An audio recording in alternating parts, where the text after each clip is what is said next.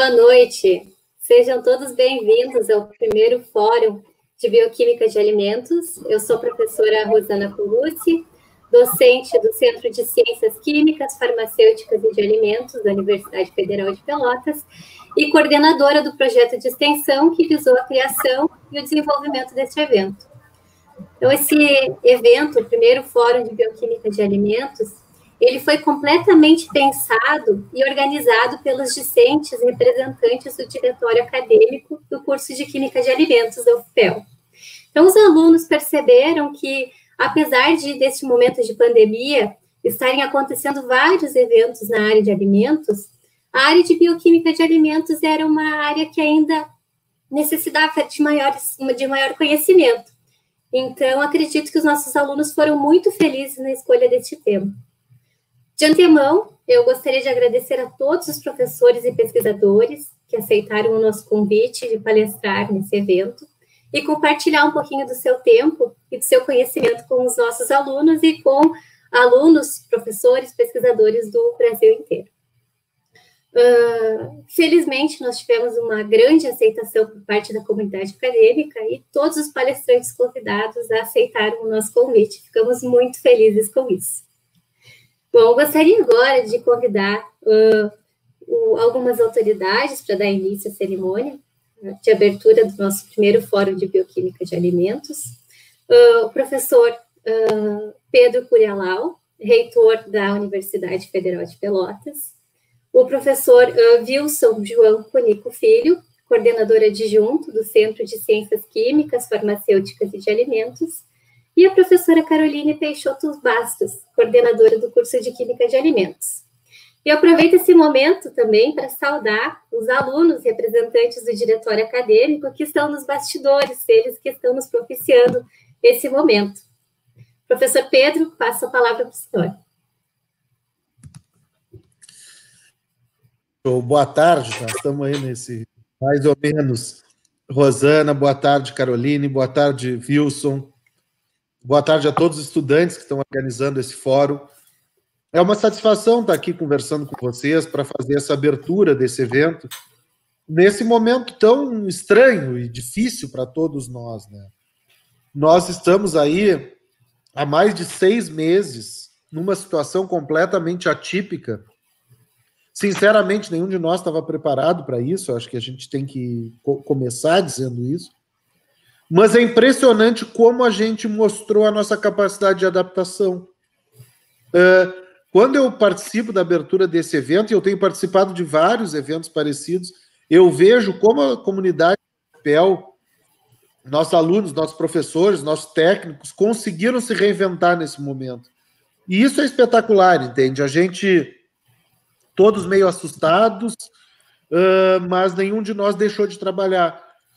Ontem eu tava, fiz uma postagem no Facebook só sobre a Covid-19, me lembrando alguma coisa. Imagina se sete meses atrás, quando ia começar uma pandemia que a gente ouviu falar na China, será que algum de nós conseguiria imaginar que a UFPEL, aqui no sul do Brasil, conduziria a maior pesquisa epidemiológica do mundo sobre Covid? Seria um dos centros para testagem da vacina contra a Covid estaria fazendo testes de PCR para a Covid-19. E eu ainda citei uma quarta coisa que eu já nem me lembro qual foi. Ah, e, e teria um hospital de referência que trata as pessoas com Covid aqui na cidade. Então, assim, a universidade se reinventou. A universidade se reinventou, inclusive, no ensino. A Carol é coordenadora de curso. Gente, foi um horror. A gente começou a discutir a possibilidade de fazer aquele semestre alternativo, o primeiro, aquele, e foi uma discussão super complexa, a gente não sabia como é que ia ser. Foi o nosso primeiro semestre letivo alternativo. Ele não foi péssimo, mas ele teve problemas, ele foi difícil, os alunos reclamaram muito. E agora nós estamos no segundo, e o segundo pode ainda ter crítica, claro que pode, mas está muito melhor. E eu acho que isso mostra um pouco como a universidade conseguiu avançar. Por outro lado, a pesquisa e a extensão foram muito afetadas também. Uh, E o fato de esse evento se caracterizar como um evento de extensão, a maioria dos eventos uh, são na área da extensão, mostra que também a extensão e a pesquisa conseguiram se reinventar. Eu queria também deixar um abraço especial para o Rui, o diretor do, do representado aqui pelo Wilson, que é o diretor adjunto da, da unidade. Queria deixar uma saudação para todos os colegas de todos os cursos do CCQEFA, mas em especial para o curso de alimentos, e desejar um ótimo evento a todos, desde já me colocar à disposição para, no que eu puder colaborar, estar tá aqui para colaborar com vocês. Muito obrigado e um ótimo evento a todos. Obrigada, professor. Professor Wilson.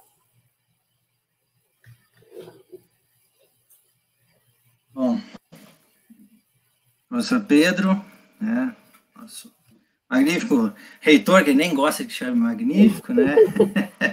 uh, uma, uma, boa noite, boa tarde, né, né como comentou, né? Uh, hoje aqui nós estamos aqui reunidos, vamos dizer assim, de uma forma não habitual, né, para esse primeiro fórum de bioquímica de alimentos. Acho que como o professor Pedrinho já comentou, é uma reinvenção também nossa, né, buscar, né, esses, essa parte da, da informática para nos auxiliar, né, nos conectar nesse tempo de isolamento, né, e assim, a, alegria e o orgulho muito grande para o Centro de Ciências Químicas Farmacêuticas de Alimentos que termos um evento com esse número expressivo de participantes, né, uh, os participantes das suas cidades, alguns nos aconchegos dos seus lares, né, viram nesse evento, né, uma forma de buscar conhecimento, e atualização sobre o tema, né? Esse tema extremamente importante que se trata aqui. E esse número, né, é, é, é muito interessante esse número, né? As meninas podem, podem passar para os inscritos, é, é, muito importante, porque ele é um alento, né? Hoje, nesses nossos alguns dias, temos uns dias estranhos, né? Onde, embora seja envolvido mais para extensão, mas ele envolve a ciência e a pesquisa. Né? E a ciência e a pesquisa colocadas em xeque é, é muito triste. Então, que bom que nós temos esse número específico de pessoas que vieram aqui né, buscar né, um, mais informações sobre a área que estão dando e trabalhando. Tenho certeza que vocês irão aproveitar as palestras selecionadas, tá? Pelos professores e pelas, pelos alunos, pela comissão organizadora. E aí já parabenizo a comissão organizadora, né? Eu acho que, e principalmente os alunos, pela iniciativa. É, tradicionalmente, nós não, não não vamos ter na semana acadêmica, as semanas acadêmicas no, no, no nosso nossa unidade, né? E mesmo assim a, a comissão, os alunos, eles não ficaram de braços cruzados, né? Foram atrás, buscaram, né? Fazer um evento para que todos possam ser beneficiados, né? Então, parabenizo alunos, parabenizo a professora Rosana, né? Por essa brilhante evento. O CCQA é o Centro de Ciências Químicas Farmacêuticas de Alimentos, seu nome é cumprido, né? Então, nós damos boas-vindas a todos, né? Que tenhamos aí um excelente e proveitoso evento. Devolvo para você, professora Rosana. Muito obrigada, professor Wilson. Eu passo a palavra agora para a professora Caroline Bastos.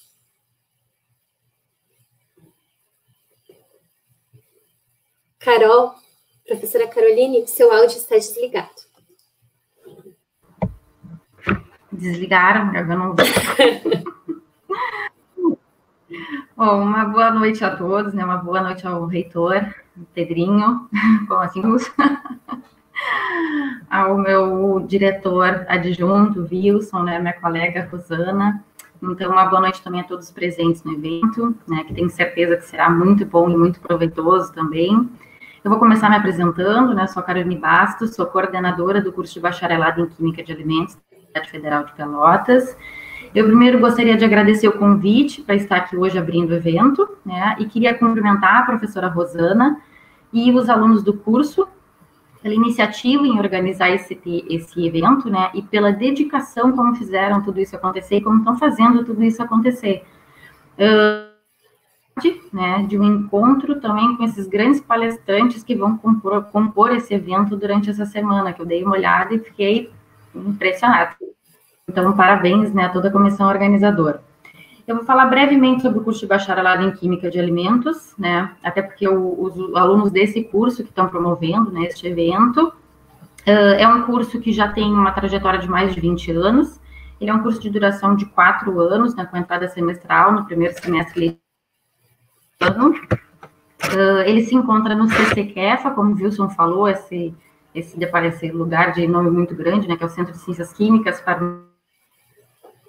Então, ele é um dos sete cursos que compõem esse centro e ele se localiza no campus Capão Leão. Ele possui também um amplo programa de disciplinas, né, de formação básica e de profissionalizantes nas mais diversas áreas, né, como a parte vegetal, animal, microbiologia, biotecnologia, sensorial, bebida gorduras, chocolates, aditivos, desenvolvimento de novos produtos, controle de qualidade, bom, e por aí vai, né, embalagens, por aí vai.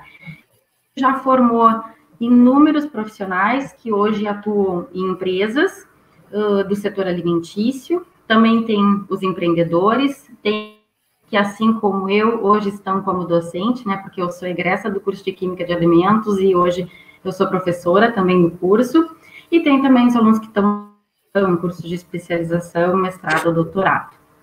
Uh, o curso passou, então, por uma avaliação, a última avaliação do MEC foi em 2018, né, que obteve nota 4, então, eu ia fazer mais uma breve, uma breve explanação aí para as diferentes pessoas que estão nos acompanhando, né, para mais ou menos ter uma ideia do que, que é a Universidade Federal de Pelotas, né. É um curso no qual eu me orgulho muito, faz parte da minha formação e hoje eu estou aqui também como professora. Se qualquer dúvida que a pessoa tiver aqui, pode mandar um e-mail para o nosso colegiado, que seria BQA, de Bacharelado em Química de Alimentos, né, bqa.colegiado.gmail.com eu espero que todo mundo aproveite muito o evento, até porque, como o Pedrinho já falou e o Wilson também, né? São momentos muito atípicos que a gente está tendo que se organizar e a gente está tendo que dar aula e organizar esses congressos e tudo isso e fazendo tudo acontecer por uma tela de computador, né? Então a gente está se reestruturando, porque não é nada fácil, tudo apareceu do nada e a gente teve que se adaptar a tudo isso. E eu também peço para que todo mundo que esteja aqui aproveite muito, porque os palestrantes, olha, são muito bons, né? Então aproveitem muito esse conhecimento, que eu tenho certeza que esse primeiro fórum, né, de bioquímica de alimentos vai proporcionar para vocês, vai proporcionar muito conhecimento.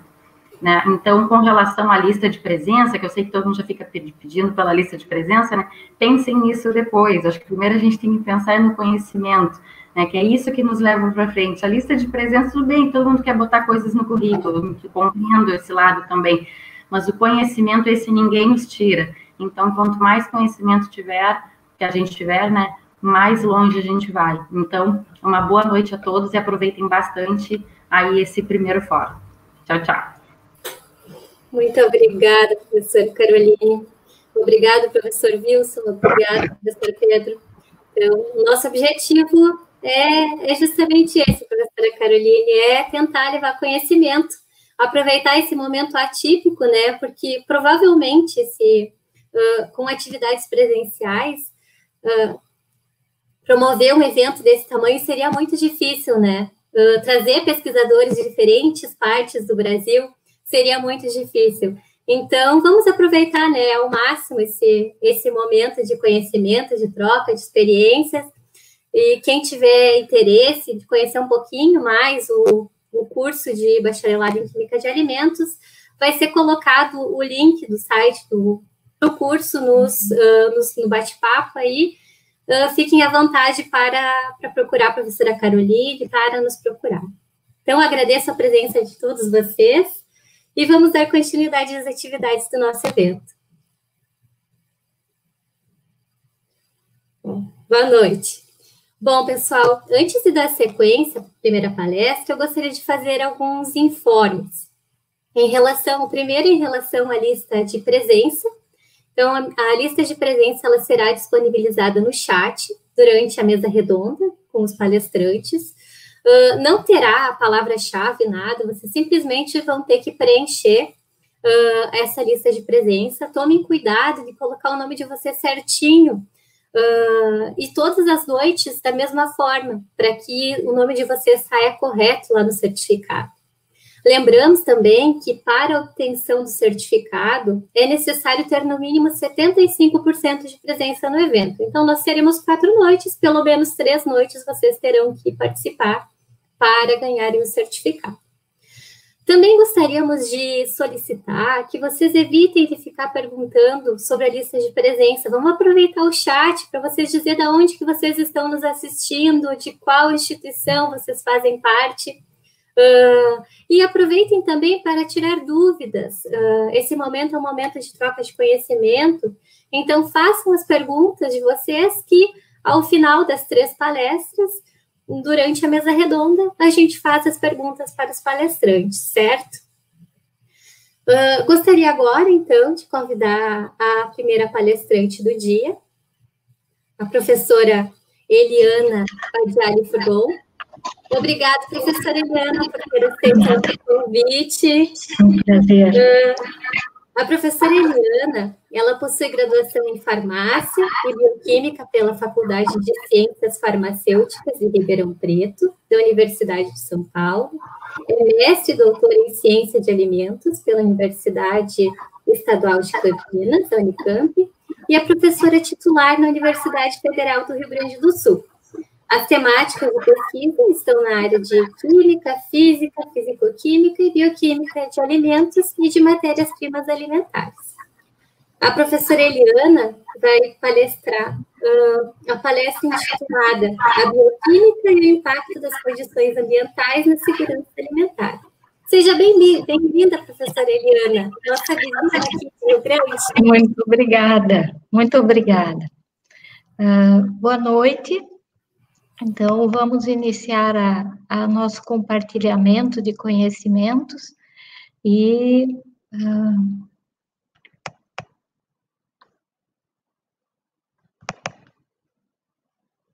e conversar um pouco com todos sobre uh, fundamentos de bioquímica. Está bem aí aparecendo? Olá? Não está compartilhando ainda, professor. Ah, ok. Então vamos iniciar novamente.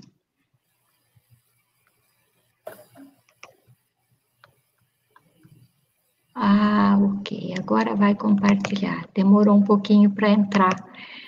Faz uhum. parte. Faz parte, sim. Agora? Agora está compartilhando, Rosana? Agora sim, professora. Então está ótimo. Deixa então, a palavra para a senhora, então. Boa noite. Muito obrigada. Uh, boa noite a todos. É, um, é uma responsabilidade abrir um evento feito esse. E, em vista disso, eu cumprimento a comissão organizadora, os meus colegas da instituição vizinha, e uh, vou tentar falar sobre essa linguagem de Deus, né, a partir de alguns fundamentos, já que essa é a palestra de abertura. Então, para a gente conversar sobre esse tema, vou fazer algumas reflexões sobre a contribuição dos fundamentos de bioquímica para interpretar o impacto do ambiente na segurança alimentar, e para isso vou usar uma experiência na cadeia produtiva do arroz, que é uma marca característica dessa região. Então, primeiro vamos ver segurança alimentar. A relação alimentos, bebida e saúde, pela falta, pelo excesso ou porque esses alimentos podem estar envenenados, vem de longa data preocupando a humanidade. Na realidade, é uma preocupação pré-histórica. E essa preocupação, de alguma forma, contribuiu para a evolução da humanidade e a partir da, das estratégias estabelecidas, dos fundamentos científicos que foram sendo gerados e disponibilizados, foram estabelecidas políticas econômicas, da, protocolos de saúde, garantia nutricional e funcional, e também limites de presença de contaminantes em alimentos, para contribuir, então, com essa grande preocupação de amplitude e indiscutível. Então, em 1996, ah, esse conceito de segurança já vinha ah, se consolidando. Em 1996, durante o período da Cúpula Mundial da, da Alimentação, um grupo de especialistas no Brasil elaborou um conceito para ser compartilhado nesse momento.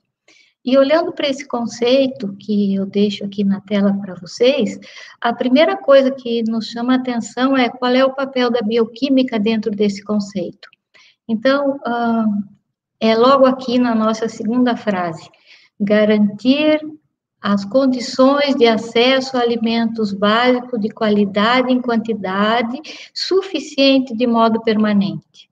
Só com esse pequeno pedaço desse conceito, a gente vê, então, a importância da bioquímica para que isso aconteça. Então, é sobre isso que nós vamos conversar um pouco.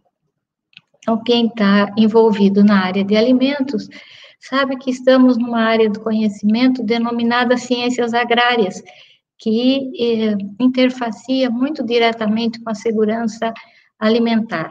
E as ciências agrárias têm uma estratégia organizacional para contribuir com isso, que são as cadeias agroindustriais.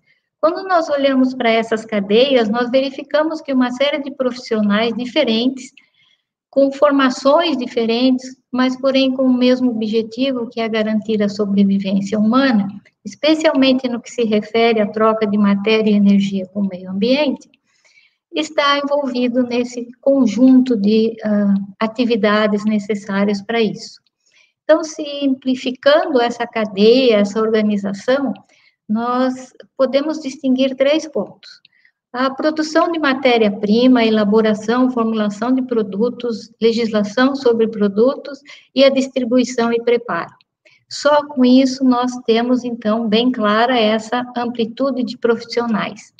Se observarmos na grade de formação dos profissionais envolvidos nesses processos, pelo menos 85% deles tiveram, em algum momento, em algumas das suas uh, conhecimentos uh, de formação, a bioquímica envolvida. Então, independente de que formação e de que ponto da cadeia esses profissionais atuam, é consenso entre todos que o meio ambiente é um fator indiscutível com relação à garantia da segurança alimentar. Consenso maior ainda fica quando se tem é, claro que os efeitos físicos que são observados no ambiente, talvez alguns químicos também, afetam a biodiversidade e, por consequência, impactam a segurança alimentar, porque a biodiversidade é afetada nos seus ciclos biológicos, na sua capacidade reprodutiva e na sua própria distribuição geográfica das espécies, que aqui tem dois fatores: a própria adaptação da espécie e a interferência humana nas uh, culturas de grande escala. Então, uh, olhando pela bioquímica, a bioquímica chama de matéria viva, né? Uh, um sistema organizado em que a gente verifica uma complexidade, uma organização a partir de uns poucos elementos da tabela periódica. E dentro dessa uh, complexidade, com esses poucos elementos, todos os componentes desempenham uma função definida, sem em nenhum momento desse, dessa função de, uh, discordar da que se chama lógica molecular, que são os, os, as propriedades químicas, físicas, termodinâmicas dessa organização. E para isso é muito importante, para que essa lógica se mantenha, a capacidade que esses sistemas têm de extrair e transformar a energia do ambiente para manter a estrutura e realizar um trabalho. E, por fim, fechar o ciclo. A sua grande característica, que é a capacidade de autorreprodução. Todos esses pontos, né, que, que são as características da matéria-prima, ficam claramente é, associados, sem muita é, necessidade de argumentação, que é a capacidade de extrair e transformar energia do meio ambiente, está fortemente uh, relacionada com a segurança alimentar. Então, esses sistemas, cujas unidades nós chamamos células, se organizam de forma que essa complexidade conviva num sistema de reações de síntese e de degradação. E essa síntese e degradação está, de alguma maneira, se relacionando com o ambiente a partir de quatro grandes pontos que podem ter efeitos benéficos ou não sobre essa síntese e degradação desse sistema. O primeiro é a comunicação. Estímulos físicos, químicos e até biológicos podem afetar essa comunicação, essa maneira como as células vão entender o seu ambiente. O outro ponto muito importante é que alguns efeitos podem uh, requerer uma alteração nessa permeabilidade celular, no sentido que ela continue fazendo seu papel, proteger a, da entrada de materiais de efeito adverso, bem como propiciar a entrada de compostos com papel uh, importante dentro desse sistema. A respiração, para nas suas diferentes formas que os seres vivos podem realizar, tem o papel de uh, fornecer energia para essa organização. E, por fim, a expressão higiênica, que vai além da capacidade de autorreprodução, que é gerar compostos ou uh, organizar mecanismos em função da necessidade que essa célula tenha a sua uh, sustentabilidade garantida. Então, uh, nas reações de síntese e degradação, elas podem ser divididas em dois grandes grupos, as de metabolismo primário e as de metabolismo secundário. No metabolismo primário, entendemos por reações de síntese e degradação aquelas que vão envolver as grandes, macro, grandes famílias de macromoléculas, carboidratos, lipídios, proteínas. Cada ser vivo, então, tem lá a sua especificidade na distribuição desse material, mas o metabolismo é muito parecido. Desse metabolismo primário, o grande objetivo é produzir energia e sintetizar moléculas. Também desse metabolismo primário se geram os precursores para o metabolismo secundário. E o metabolismo secundário tem uma característica muito interessante, que a maioria dos compostos que são formados nele aparecem em concentrações traço, também com dois papéis bastante definidos. Um é a regulação diferencial, marcar os ciclos biológicos desses indivíduos. E outro é um que nós chamamos eh, compostos ecológicos, vamos dizer, né? Uma maneira de eh, mostrar que o papel desses compostos tem uh, a capacidade de competir ambientalmente para que, que aquele indivíduo se desenvolva num determinado meio. Então, baseado nesses grandes princípios, a ciência e a tecnologia, e obviamente com fundamento na bioquímica, o uso de fertilizantes, pesticidas e de organismos geneticamente modificados dependeram de muitos conhecimentos e aprofundamentos da fundamento da bioquímica. E com eles, por bem ou por mal, que foram favoráveis ou não, tivemos uma mudança do panorama de produção, do ataque de pragas nas, nas culturas, a, a plantas com resistência mais, é, característica para determinadas regiões e a própria qualidade para o futuro processamento desse material. Então, do ponto de vista ciência, matéria-prima, qualidade dos alimentos nesses três uh, marcos foi melhorada ou pode ser afetada, a qualidade do ambiente e para que isso tivesse uma organização e mantivesse a, a, a, o processo sustentável, foram estabelecidas legislações e tratados comerciais como fazer uso desses, dessas estratégias. O mesmo vale quando nós chegamos lá no compartimento produção e distribuição dos alimentos. Então, a, a síntese de aditivos e o uso deles, dos sanitizantes e da própria tecnologia enzimática, promoveram uma outra mudança grande no panorama da segurança alimentar. Tornou possível conservar melhor os alimentos, torná-los mais agradáveis, alguns deles que pelo seu aporte nutricional, mas pela sua própria atratividade, não eram muito utilizados, limitou-se à contaminação microbiana e se ativou e se inibiu processos endógenos e exógenos a partir dos fundamentos da tecnologia enzimática. Esses, essa, essas estratégias, né, seguidamente são reavaliadas no sentido de buscar novas soluções que limitem o impacto à saúde e no ambiente também.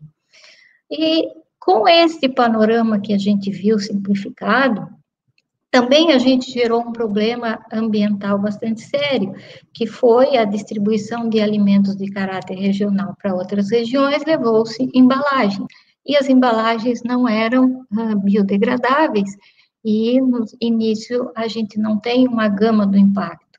Mas hoje o que a gente pode ver de mais inovador é a busca, né, além da sustentabilidade, aproveitar melhor os recursos uh, naturais ou aqueles que são cultivados ou criados, se tem pensado em embalagens inteligentes e biodegradáveis. Então, certamente, se a gente retornar, uh, uh, vai ter mais uma mudança de paradigma aqui nessa minha colocação. Perdão. que papel as universidades tiveram nessas cadeias produtivas e na sua evolução, no seu contato com o meio ambiente. Primeiro, a capacitação de profissionais da área. Os colegas que me antecederam na abertura falaram sobre isso, e eh, se a gente fosse fazer um levantamento muito rápido, profissionais capacitados para atuar especificamente na área de alimentos, possivelmente aumentou em mais de 10 vezes do fim da década de 70 até os dias de hoje. Indiscutível é que, se nós formos buscar a geração de conhecimento humano, pelo menos 45% daqueles que estão uh, disponibilizados têm como fundamento a bioquímica. Contribuição com o setor agroindustrial nos diferentes níveis. É indiscutível que muitas dessas contribuições vieram exatamente dos conhecimentos aprofundados da bioquímica, e, por fim, a universidade tem por papel buscar ou puxar esse nova, essa nova tendência, que é repensar os recursos ambientais. E esse papel tem que ser muito bem pensado, porque além do fundamento bioquímica, nós temos que ter outros pensamentos, outras formas de ver esse ambiente para que a gente possa efetivamente fazer esse avanço, né? Então, falando nas universidades, eu vou contar um pouquinho do Laboratório de Micotoxinas e Ciência de Alimentos. Esse laboratório fica na FURG, que é de onde eu sou originária, e a missão dele é capacitar profissionais usando ferramentas da ciência. Nós temos diferentes profissionais, desde que eles tenham interesse na área de alimentos. E o que, que esses profissionais têm como ferramenta, então? Química, bioquímica, analítica, uh, alguns conceitos de microbiologia, e isso é utilizado para a gente avaliar o efeito de variáveis bióticas e abióticas na disponibilização de nutrientes a partir dos alimentos, uh, na alteração desses materiais e, por fim, até na própria questão da presença de contaminantes. Então, nós trabalhamos como um time, e eu diria que o nosso time é vencedor, e isso fica muito indicado pelos diferentes profissionais que passaram pelo nosso grupo ao longo de, desse tempo de laboratório de micotoxinas de 26 anos.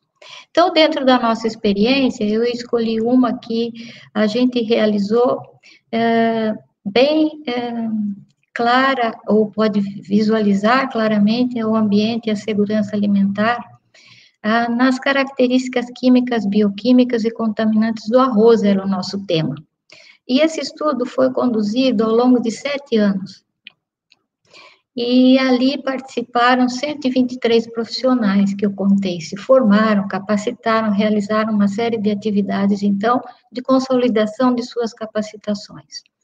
Para isso, obviamente, que nós tivemos que contar com parceiros muito fortes, que foi um, um, um, laboratório da própria universidade, outros também, mas esse com mais ênfase, o Laboratório de Contaminantes Orgânicos e Metálicos, o grupo do Instituto Rio Grandense do Arroz à época, e órgãos financiadores como MAPA, CNPq, FAPERB, SCAPES, e todos os projetos e subprojetos desse tema, a função era contribuir para o conhecimento da qualidade do arroz na cadeia produtiva, do campo à mesa. Bem, qual era a nossa principal variável, né, para avaliar isso? Era o manejo de campos experimentais.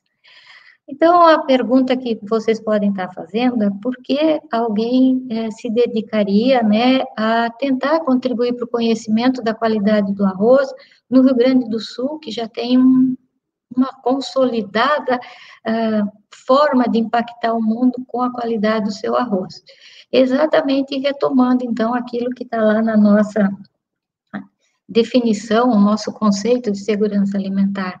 Essa qualidade tem que ser avaliada permanentemente, porque as demandas mudam e as tecnologias também.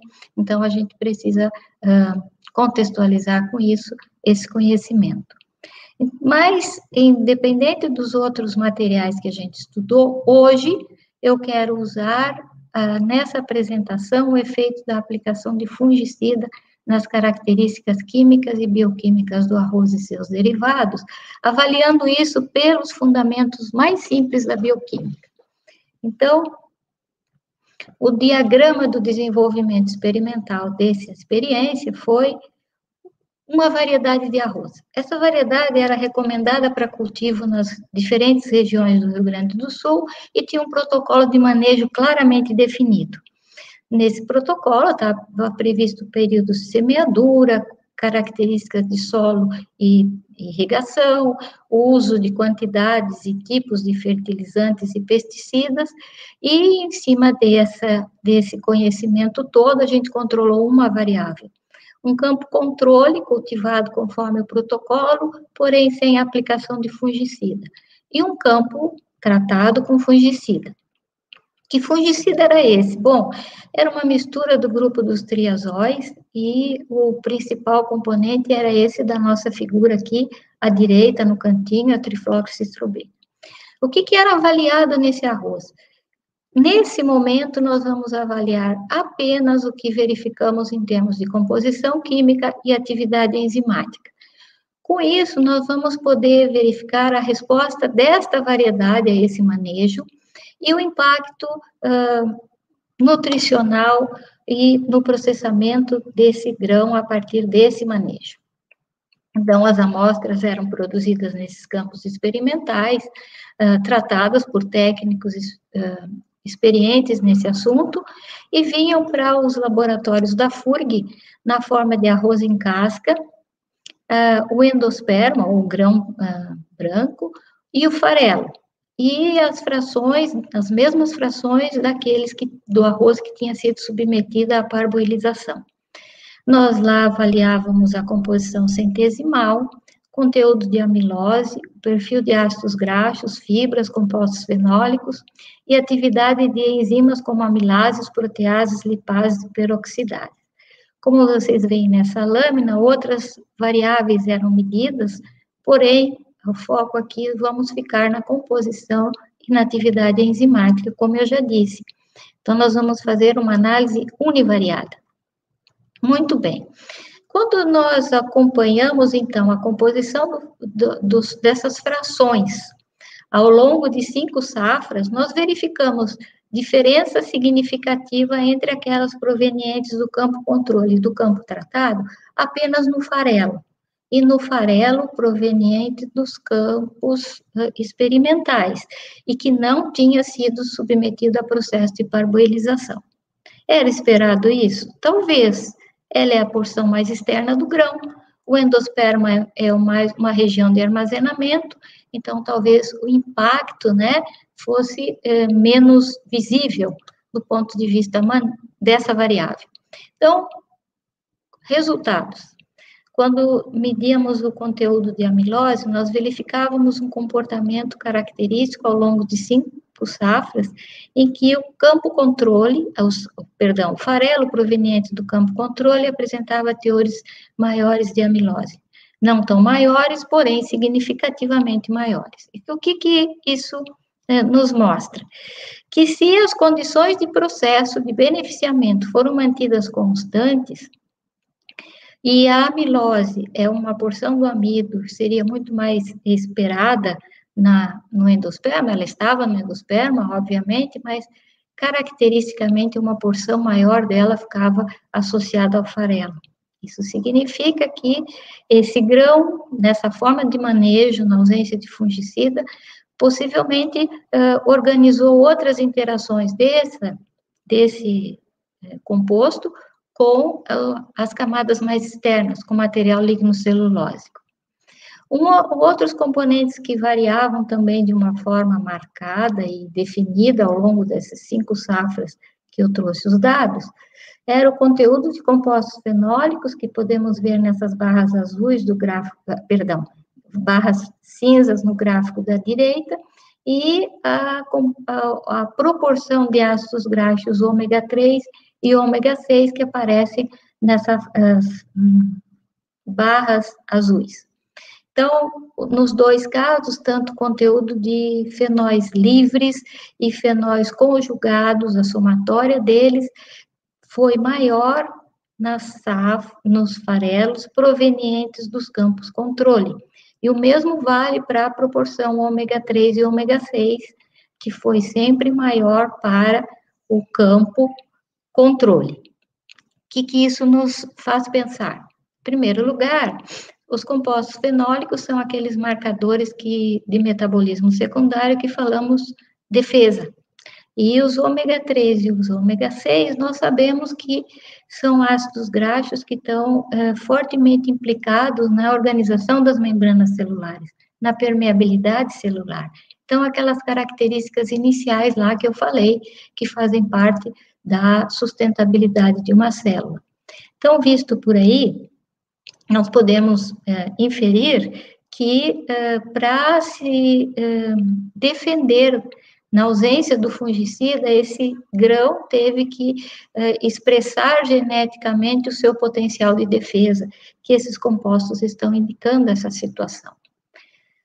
Com relação ao perfil da atividade enzimática, eu trouxe o conjunto de dados para vocês terem uma ideia que nem todos tiveram diferenças significativas ao longo do, do período avaliado. Mas a atividade do, de dois grupos de enzima, das proteases, que são essas que estão nas barras azuis escuras, e das lipases, que são essas das barras roxas mais altas, a atividade enzimática era maior, significativamente maior, nos campos que foram submetidos ao tratamento no farelo de arroz, perdão, proveniente dos campos submetidos ao tratamento com fungicida. O que, que isso nos faz pensar? Faz pensar que os fungicidas, embora medianamente sistêmicos, eles permearam pelo grão e para sua convivência nesse sistema, possivelmente teve que haver uma a célula busca uh, se descontaminar ou uh, detoxificar esses compostos e por isso ela aumentou, alterou a seu balanço, buscou mais energia, uh, decompondo ácidos graxos, como mostra a ação de lipase. Por outro lado, as proteases podem uh, representar, né, a, a, necessidade de síntese que para essa convivência entre o contaminante e a amostra pergunta que vocês querem me fazer é se esses, esses princípios ativos foram detectados no grão. Foram, mas o que queremos avaliar hoje é uma variável, que é o tratamento ou não. Então, os compostos fenólicos. Uma essa variável impactou, então, controlada no manejo, impactou. compostos fenólicos ômega 3 e ômega 6 beneficiaram o valor nutricional e funcional com seus aumentos. Talvez o aumento não seja muito marcante, mas houve este aumento e foi significativo. Com relação ao processo, qual é o impacto que isso que nós poderíamos esperar?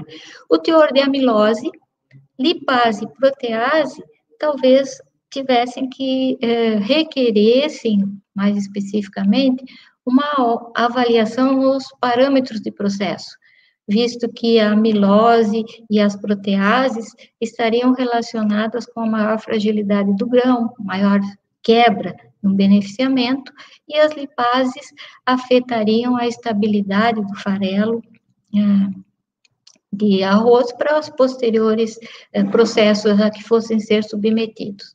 Então, só com essa simples avaliação, essa avaliação simples, vemos que uma condição ambiental, uma variável abiótica, pode ser visualizada na qualidade, na quantidade e possivelmente numa escala maior na segurança alimentar.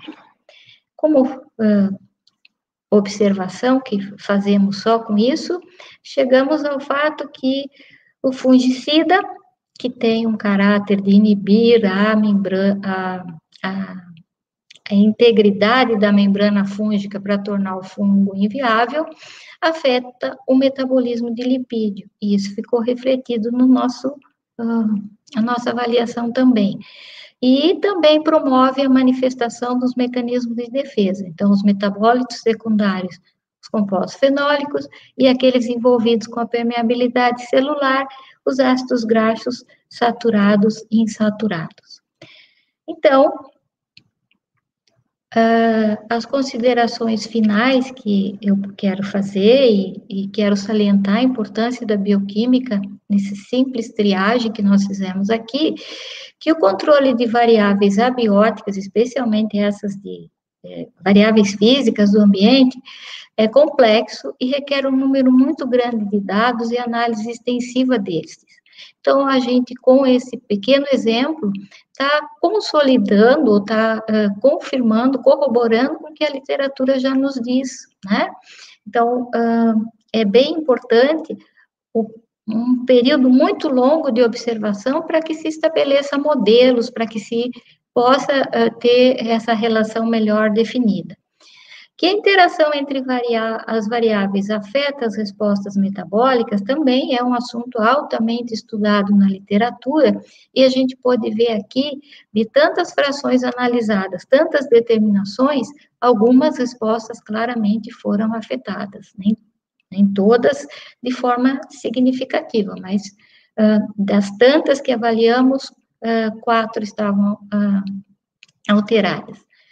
Então, nós podemos também observar que características químicas e bioquímicas, especialmente aquelas que se referem a perfis de compostos e uh, compostos traço, podem ser usados como marcadores rápidos para a rastreabilidade de materiais na cadeia produtiva.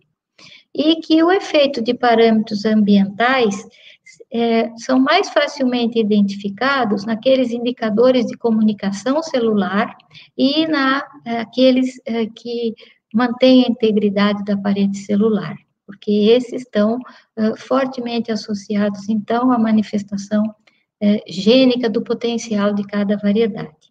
Então, encerrando aqui a minha fala, eu espero ter contribuído para a abertura desse evento, né, para essa primeira palestra, recordando a vocês a importância de se avaliar em primeira instância o, os dados que nós temos a partir dos fundamentos da bioquímica, os fundamentos mais simples que a bioquímica tem uh, para que Posteriormente, nós associemos avaliações mais específicas e façamos modelos multivariados dos diferentes comportamentos para que possamos, então, interferir nesse processo.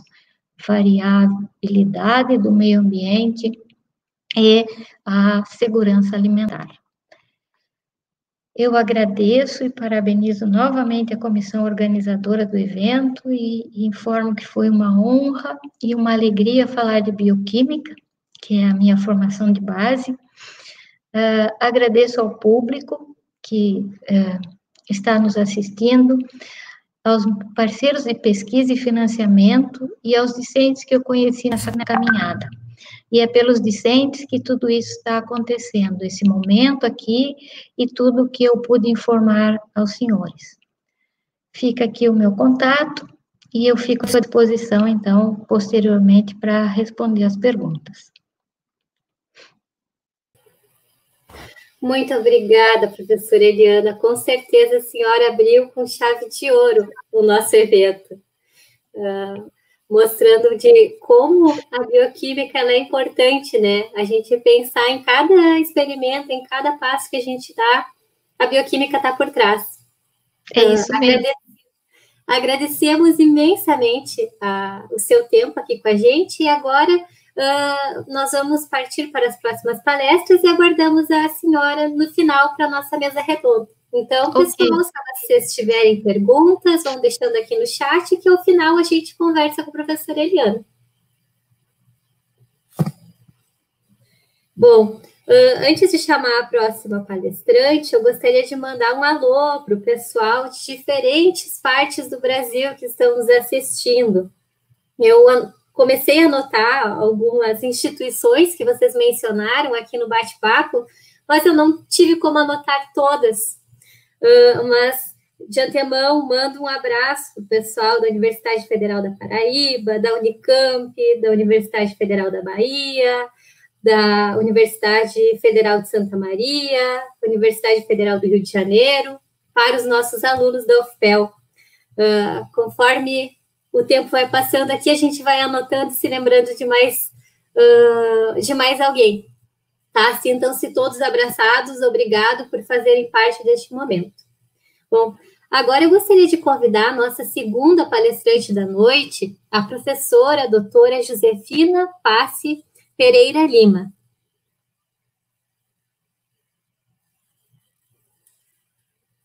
Boa noite, professora Josefina. Muito obrigada por, por ter aceito o nosso convite. Bom, pessoal, a professora Josefina, ela é engenheira agrônoma pela Universidade de Taubaté, ela é mestre em Ciências Biológicas pela Universidade Estadual Paulista, Júlio de Mesquita Filho, e doutora em Ciências Biológicas pela mesma universidade. Ela é professora titular em Bioquímica Vegetal pelo Instituto de Biociências da Universidade Estadual Paulista, a Unesp, e tem como área de pesquisa principal a análise de fitoquímicos em alimentos de origem vegetal. Entre os fitoquímicos, incluem-se as aminas biogênicas e alguns metabólitos secundários, como compostos fenólicos, carotenoides e tocoferóis. Nessa noite, a professora Josefina irá ministrar para a gente a palestra intitulada Relação de aminas biogênicas em alimentos em resposta às modificações da matriz alimentar. Boa noite, professora Josefina. Passa a palavra para ti. O seu microfone está desligado, professora.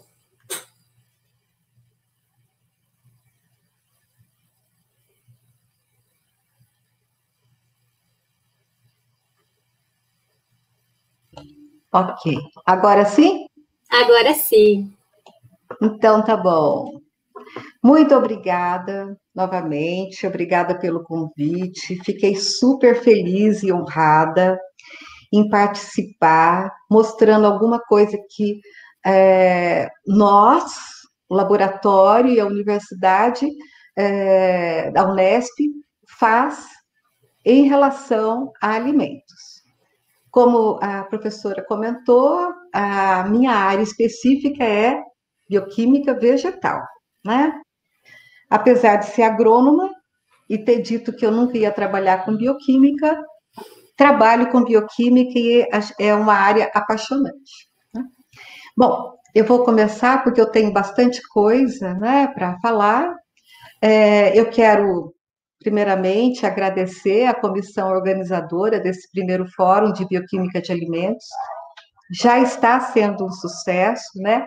A Universidade Federal de Pelotas.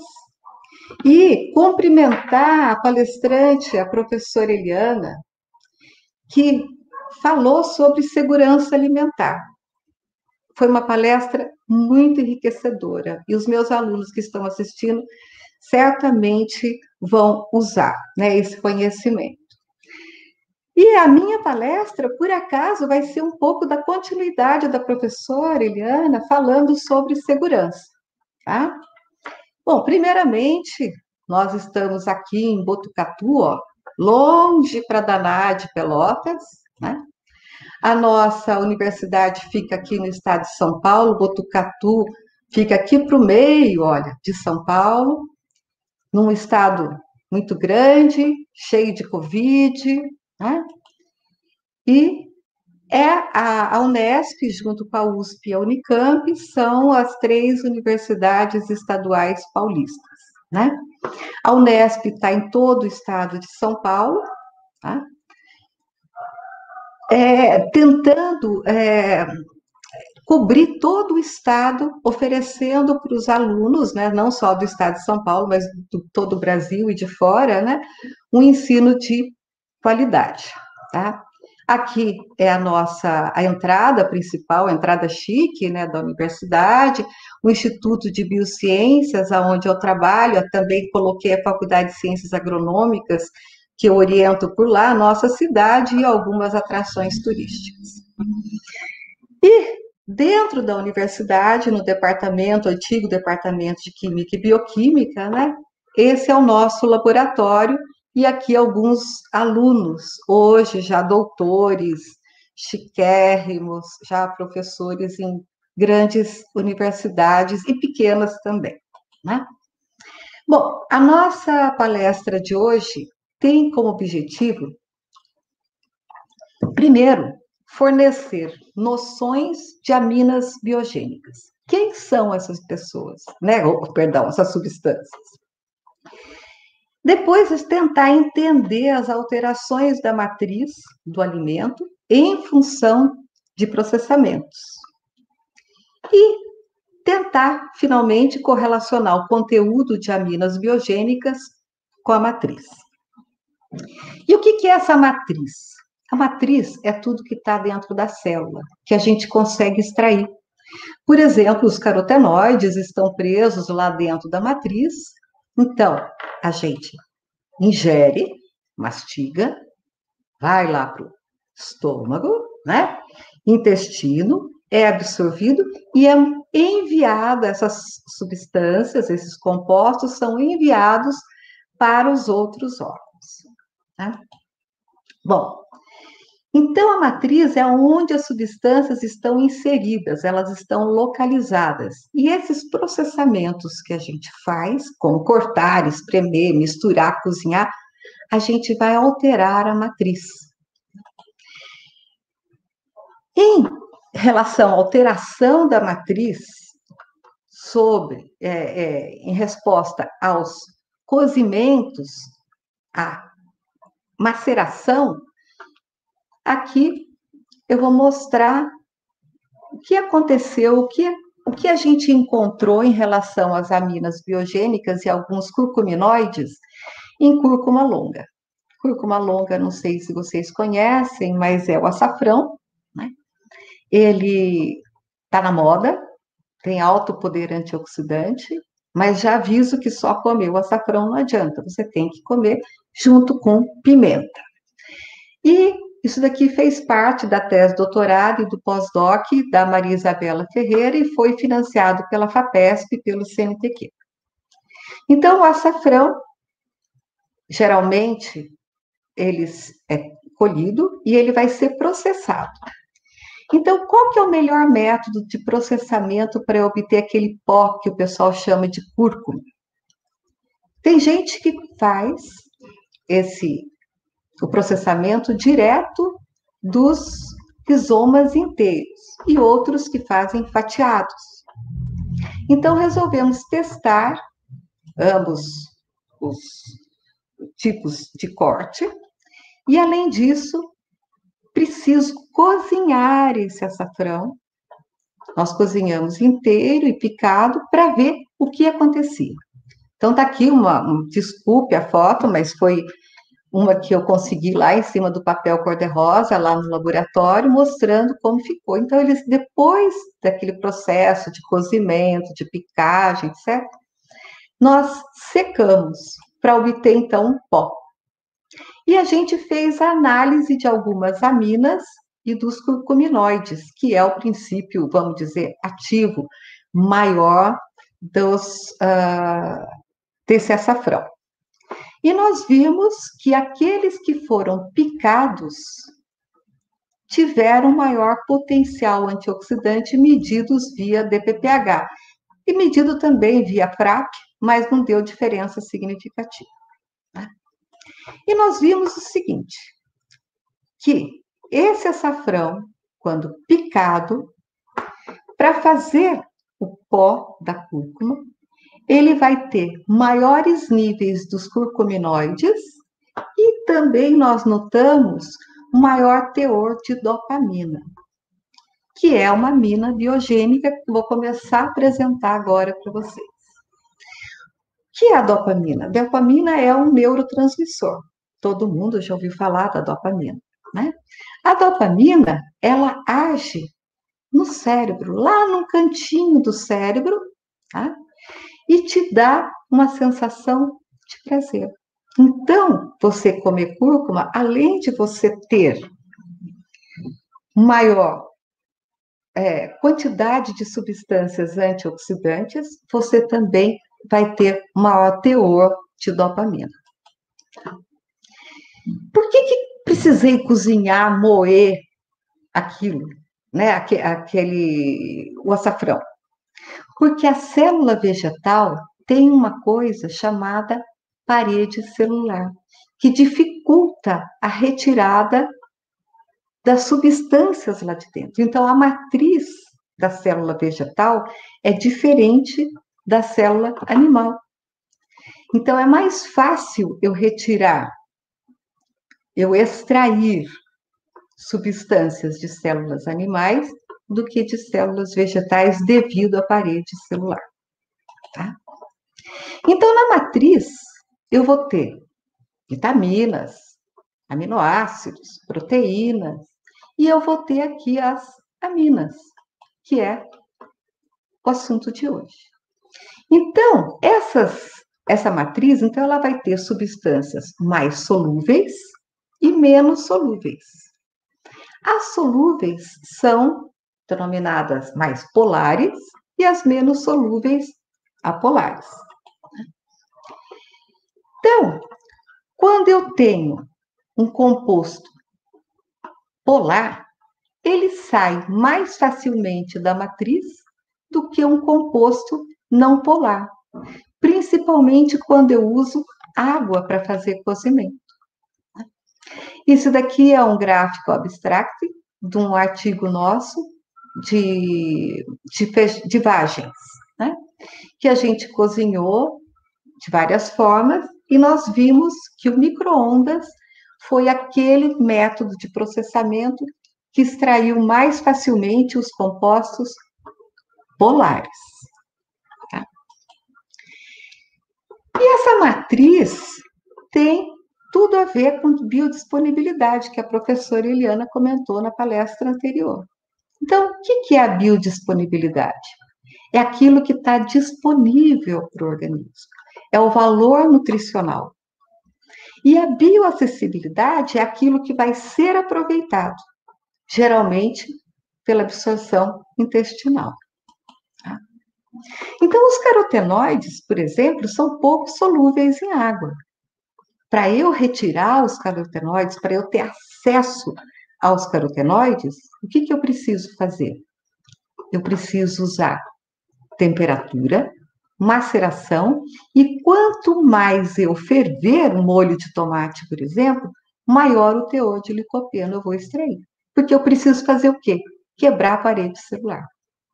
Então, molho de tomate, as bananas, outros alimentos que contêm carotenoides, eu preciso de uma força maior para extrair. E geralmente, não é o assunto, né? Mas geralmente quando eu faço é, a extração de carotenoides, para eu poder absorver mais, eu devo usar um pouquinho de óleo, né? já que ele é lipossolúvel. E os compostos hidrofílicos, aqueles polares, os solúveis, eles têm maior quantidade de OH, né, de hidroxilas, e de grupamentos aminos. E as nossas aminas e as poliaminas contêm nitrogênio, por isso que elas são mais solúveis.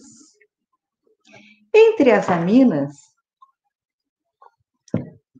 nós temos a putrescina e a cadaverina, que todo mundo já deve ter ouvido falar, né? Putrescina e cadaverina ocorrem em maior quantidade em alimentos que estão em decomposição. A espermidina e a espermina, esse nome já lembra, né? É, o esperma, porque elas foram descobertas no esperma. E essas aminas, juntamente com a estamina, serotonina, dopamina, tiramina, triptamina, são consideradas aminas biogênicas. Então, aqui está a estrutura da putrescina e cadaverina, elas são muito parecidas, da espermidina, espermina, da triptamina, tiramina, dopamina, estamina e serotonina. Essas substâncias, principalmente a espermidina e a espermina, elas estão relacionadas com a estabilização do DNA. Elas estão relacionadas com o RNA, com a estabilidade de membrana entre infinidades de é, funções que as poliaminas têm nas células. Tá? A versatilidade. Ai, faltou um T aqui, ó. Então, vamos pensar aqui no histórico, um pouquinho antes da gente começar. Então, no século XVII, esse comerciante de tecidos, Antoine, né, Antônio, ah, desculpe, não sei falar o sobrenome dele, ele era um cientista, construtor de microscópio. No século XVII, ele viu no esperma que o esperma formava cristais. Depois eles viram que esses cristais eram uma substância desconhecida que em 1888 foi denominada espermina. E eles começaram a perceber que quando eles passavam esperma em feridas, eles cicatrizavam e eles foram, ah, foi recomendado o uso para a cura de doenças. Vejam quanto tempo. Só agora, neste né, milênio, 1949, que foi é, descoberta ou descrita a serotonina. A dopamina em 1910 e a melatonina a primeira patente ocorreu só em 1995. Então, faz muito tempo que estão estudando essas aminas. E essas aminas são muito interessantes porque elas têm relação com diversos acontecimentos da nossa vida. Né? Como eu disse anteriormente, ela tem relação com duplicação de DNA, RNA, com a proliferação celular, e é interessante esta relação com envelhecimento e doenças. Conforme envelhecemos, diminui o teor de espermidina. E vários grupos têm colocado que se você tiver uma dieta rica em espermidina ou espermina, você tem um aumento da expectativa de vida. E essa espermidina, muito parecida também com a espermina, dependendo do número de NH que existem, né? Elas têm sido usadas para estão relacionadas com a aterosclerose. E elas conseguem aumento de é, ingestão de espermidina, diminui o acúmulo de lipídios. Então, essas poliaminas, elas estão ligadas a tudo isso que a gente está vendo nas nossas células, mas elas também estão ligadas com a duplicação de DNA e RNA, a formação de RNA em vírus. Por exemplo, aqui o último aqui que foi relacionado foi o Zika vírus. Né? Essas aminas, por elas estarem relacionadas com DNA e RNA, infelizmente, quando eu tenho uma célula cancerosa, neoplasia, eu tenho um aumento de espermidina e espermina. Então, o que, que é interessante aqui? Existe um grupo na França, vários grupos, mas na França é o mais interessante, que é o grupo do Cipolla e Cipolla, casal, que estudam, que montam dietas, né, tipo de cozimento, etc., para diminuir o nível de espermidina e espermina em pacientes com neoplasia. E eles têm observado uma, um controle maior dessas células, menor divisão dessas células, quando eu diminuo a quantidade de espermidina e espermina. Tá? E os alimentos, eles têm uma grande quantidade de aminos. Vários estudos têm mostrado também até diferenças entre alimentos orgânicos e convencionais, que é uma discussão muito grande que existe principalmente na área de pós-colheita. Então, teve um trabalho nosso que nós fizemos em vários, é, em algumas hortaliças, né? e nós medimos em uh, alimentos, é, hortaliças convencionais e orgânicas. E nós fizemos essa análise por GC, né? Cromatografia gasosa, e a gente viu uma coisa aqui, que os convencionais, eles tendem a ter um maior teor de putrescina tá? e cadaverina em relação aos vegetais orgânicos. Por outro lado, uma outra amina aqui, que é precursora da putrescina, a guimatina, tem mais em vegetais hortaliças orgânicos. Por outro lado, em brócolis, por exemplo, a gente não conseguiu detectar espermidina.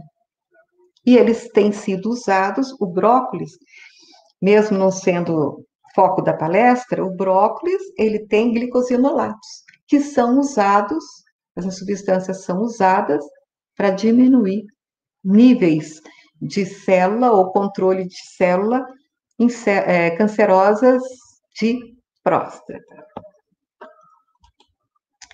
Bom, e essas aminas biogênicas que a gente está conversando, putrescina, espermidina, a dopamina, elas são muito termoestáveis. O que quer dizer isso?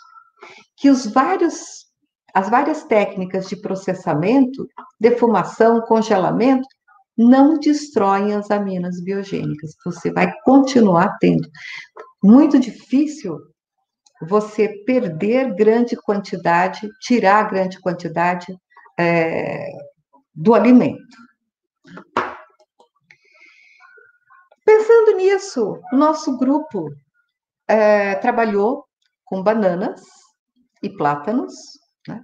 Quem fez esse trabalho foi a Cristine, de Santa Catarina, foi minha aluna, e nós vimos as mudanças das aminas biotivas durante o amadurecimento e alguns tipos de processamento térmico nessas bananas e plátanos. O que, que a Cris fez? Esse é o gráfico abstract do trabalho, né, deste trabalho aqui na Food Chemist do ano passado. Ela trabalhou com 22 genótipos de bananas e plátanos. Entre as bananas, bananas de sobremesa e de cozinhar. E ela viu que há diferenças nos níveis de todas essas aminas aqui, ó, tiramina, estamina, dopamina, serotonina, espermidina espermina, em função do estágio de amadurecimento. Além disso, ela também viu que há diferenças entre casca e polpa. E ela até recomenda que o melhor método de cozimento para você extrair maiores níveis de serotonina e dopamina seria você cozinhar a banana com casca. Tá? Então, ela também notou uma, uma coisa assim bem interessante, que a serotonina, por exemplo, que é um neurotransmissor, que todo mundo acho que já ouviu falar, né? Do prazer, da felicidade, ela é maior quando eu estou, quando eu não, na banana, a banana está madura, um ponto de consumo, antes de ela mostrar, da banana começar a pintar muito. Então, os níveis de serotonina e dopamina começam a diminuir conforme ela vai amadurecendo. Esse trabalho também foi feito por outros alunos que estão assistindo, que é o Matheus Belim e a Giovana Monar. Então, a serotonina e a dopamina, estudada pela Cris e pelas outras pessoas do nosso grupo, são as substâncias da felicidade. Só que eu não posso ter muito pouco, porque eu vou ter apatia, déficit de atenção, letargia, e nem muito, senão vou ficar eufórica, ansiosa. Né? O que é o ideal? Ter sempre um nível normal de serotonina. Tá? E pensando em serotonina e dopamina, eu encontrei que dia 10 de outubro foi o Dia Mundial da Saúde Mental. Então, pessoas com depressão devem ingerir maiores níveis de serotonina e dopamina, que estão relacionadas também, se a gente ler mais, né, com a intenção suicida, que foi o Setembro Amarelo. E aqui eu trouxe o Janeiro Branco, que é da depressão também de déficit de serotonina e dopamina. Só que não adianta eu comer um montão de serotonina que ele não vai passar para o cérebro. Uai, mas eu vou comer e não vai passar para o cérebro? Não, ela vai servir mais como antioxidante. O que eu preciso para ter altos níveis de serotonina, dopamina, melatonina no cérebro, eu preciso ingerir um aminoácido chamado triptofano.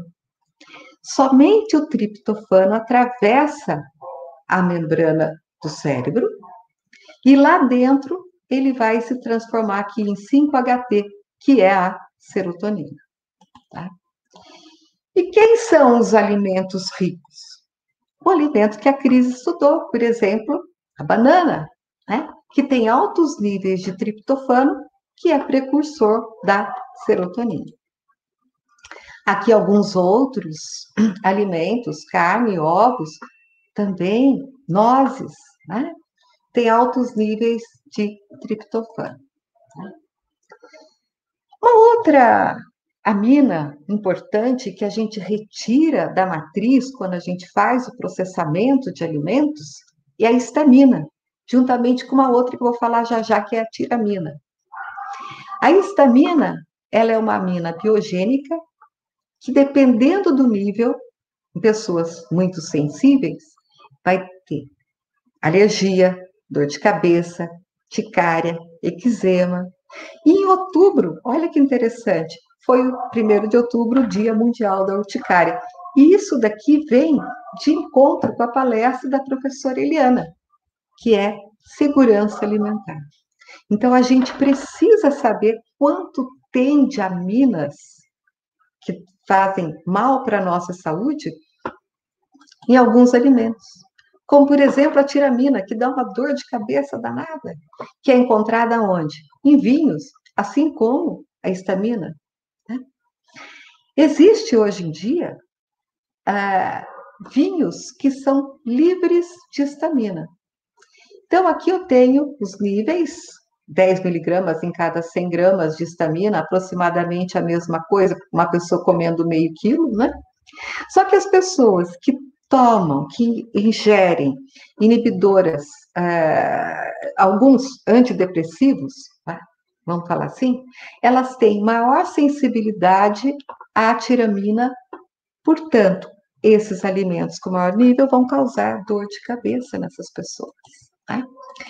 E a tiramina e a histamina, ambas causam hipertensão, hipotensão, depende da pessoa. Então, a gente precisa saber quanto e quais alimentos a gente tem. Isso, saber quanto tem de amina biogênica no alimento é uma coisa que a gente deve lutar, que a Europa já vem fazendo, para a gente ter segurança do alimento. Né? E pensando em vinhos, nós fizemos um trabalho agora que foi publicado esse ano na Plant Food, é, juntamente com o pessoal do Rio Grande do Sul, da Embrapa Uvi Vinho, né, Patrícia e o Mauro Celso, e esse professor aqui que é de Honduras, nós fizemos análises de aminas biogênicas em sucos e vinhos. E nós vimos uma coisa muito interessante, que depende da uva, aí no Rio Grande do Sul, vocês têm uma coleção imensa né, de uvas, que dependendo da uva, eu tenho maiores ou menores teores de histamina e tiramina. Vejam, por exemplo, a Carmen, não é a Carmené, a Carmen, elas têm altos níveis de histamina e tiramina. Enquanto essa seleção 34 e a Magda tem baixos níveis é, de é, e tiramina, respectivamente. Né? Esses dados são em miligramas por litro. Tá? E além disto, a gente viu que essas uvas é, lançadas pela Embrapa Uvivinho aí do Rio Grande do Sul, tem altos níveis também de dopamina e serotonina. E é engraçado que a gente viu assim, que os vinhos, principalmente Violeta, Carmen Seleção 13, têm maiores níveis de dopamina, enquanto a Violeta e a Cora têm mais serotonina. Então, seria interessante que a gente fosse comprar um suco ou um vinho e começar a olhar mais nas uvas que é, foram usadas para elaborar esses, esses, esses sucos e vinhos, etc. E além disso, é, tanto dopamina como serotonina e os compostos fenólicos presentes são é, antioxidantes potentes. Tá? Então, elas eliminam as espécies, é, as radicais livres. Isso em uva e vinho. E pensando é, em outro tipo de é, processamento, seria a conservas. Então, quando eu faço uma conserva em óleo ou em vinagre, eu vou ter maior ou menor nível de estamina e tiramina eu vou ter maior ou menor nível de dopaminas, serotoninas e compostos benéficos. Então, pensando nisso, a Mônica, que é lá do Mato Grosso, né, da Unemate, ela veio fazer o doutorado comigo e trabalhou com jurubeba.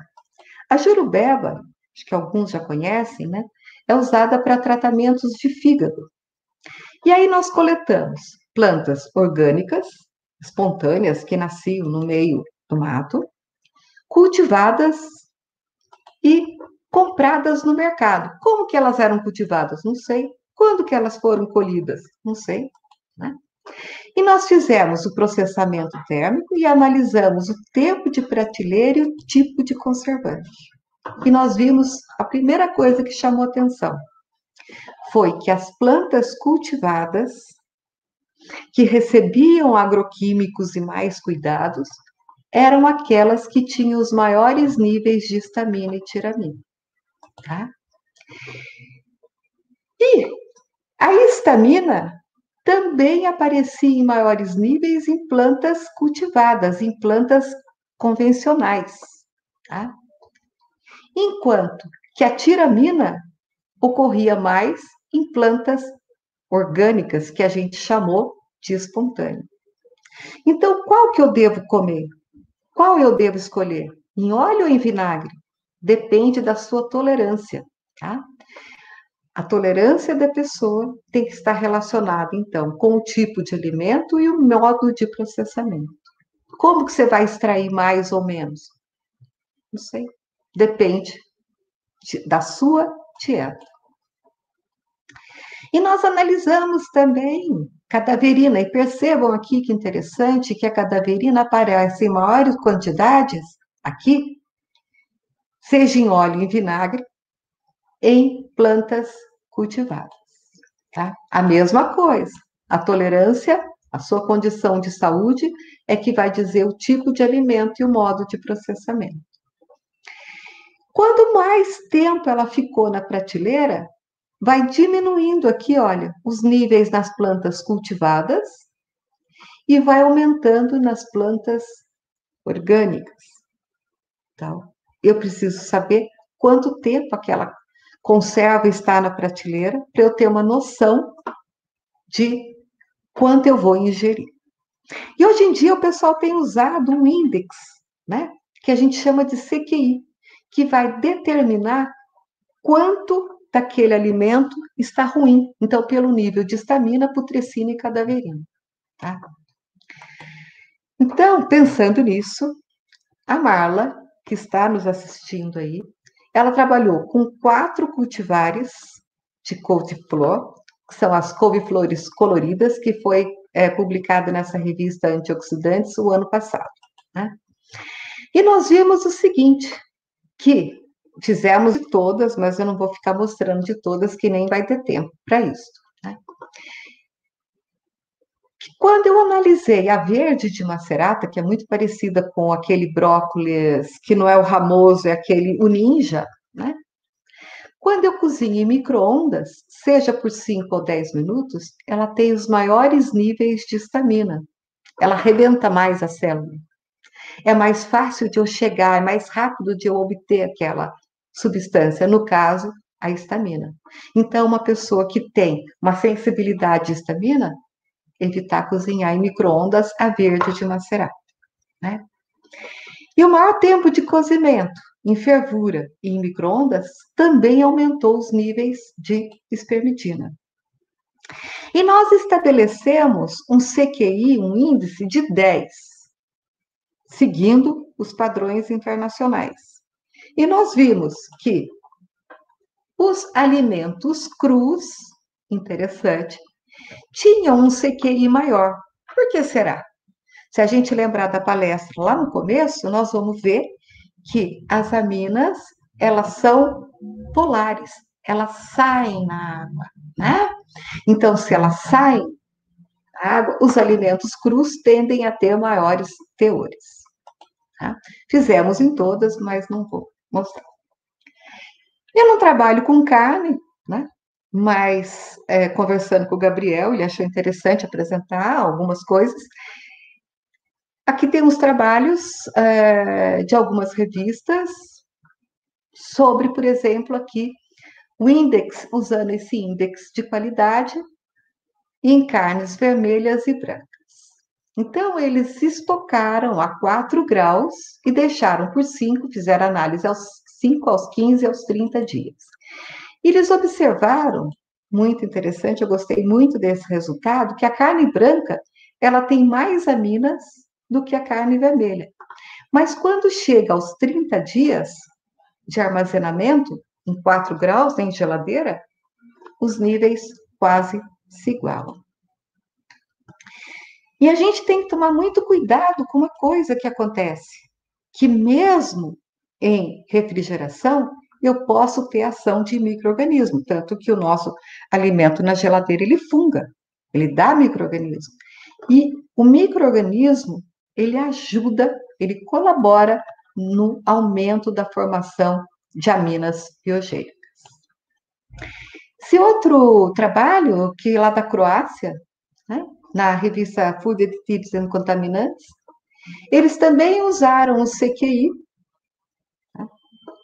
e analisaram aqui os peixes frescos, os uh, canned, né, enlatados, e os de salmoura, até pus salmoura aqui para não esquecer. E eles viram o seguinte, que esses em salmoura, eles têm maiores níveis de, do índex lá do QI, de estamina, putrescina, cadaverina, tiramina, aminas que não fazem bem para a saúde do que aqueles frescos ou mesmo enlatados. E além disso, quando eles foram analisar as carnes, os fermentados e os processados, que são uma delícia, eles contêm um índex muito maior. Quer dizer, eles são, não são muito bons para a saúde. Por isso que, às vezes, você comendo um salaminho e um vinho, você pode ter maior maior facilidade de ter dor de cabeça. Né? Então, independente do que você vai fazer, cozinhar, ação de micro-organismos, mesmo em refrigerador, você vai ativar as aminas biogênicas. Elas vão estar lá. Tá? E essas aminas biogênicas, dependendo de o que mais eu tenho lá dentro deste alimento, eu posso formar substâncias carcinogênicas, como as nitrosaminas. O que, que são as nitrosaminas? São aminas que formam uma reação com nitrato. E o nitrato é muito usado na conservação né, de alguns embutidos. E essas nitrosaminas são altamente carcinogênicas.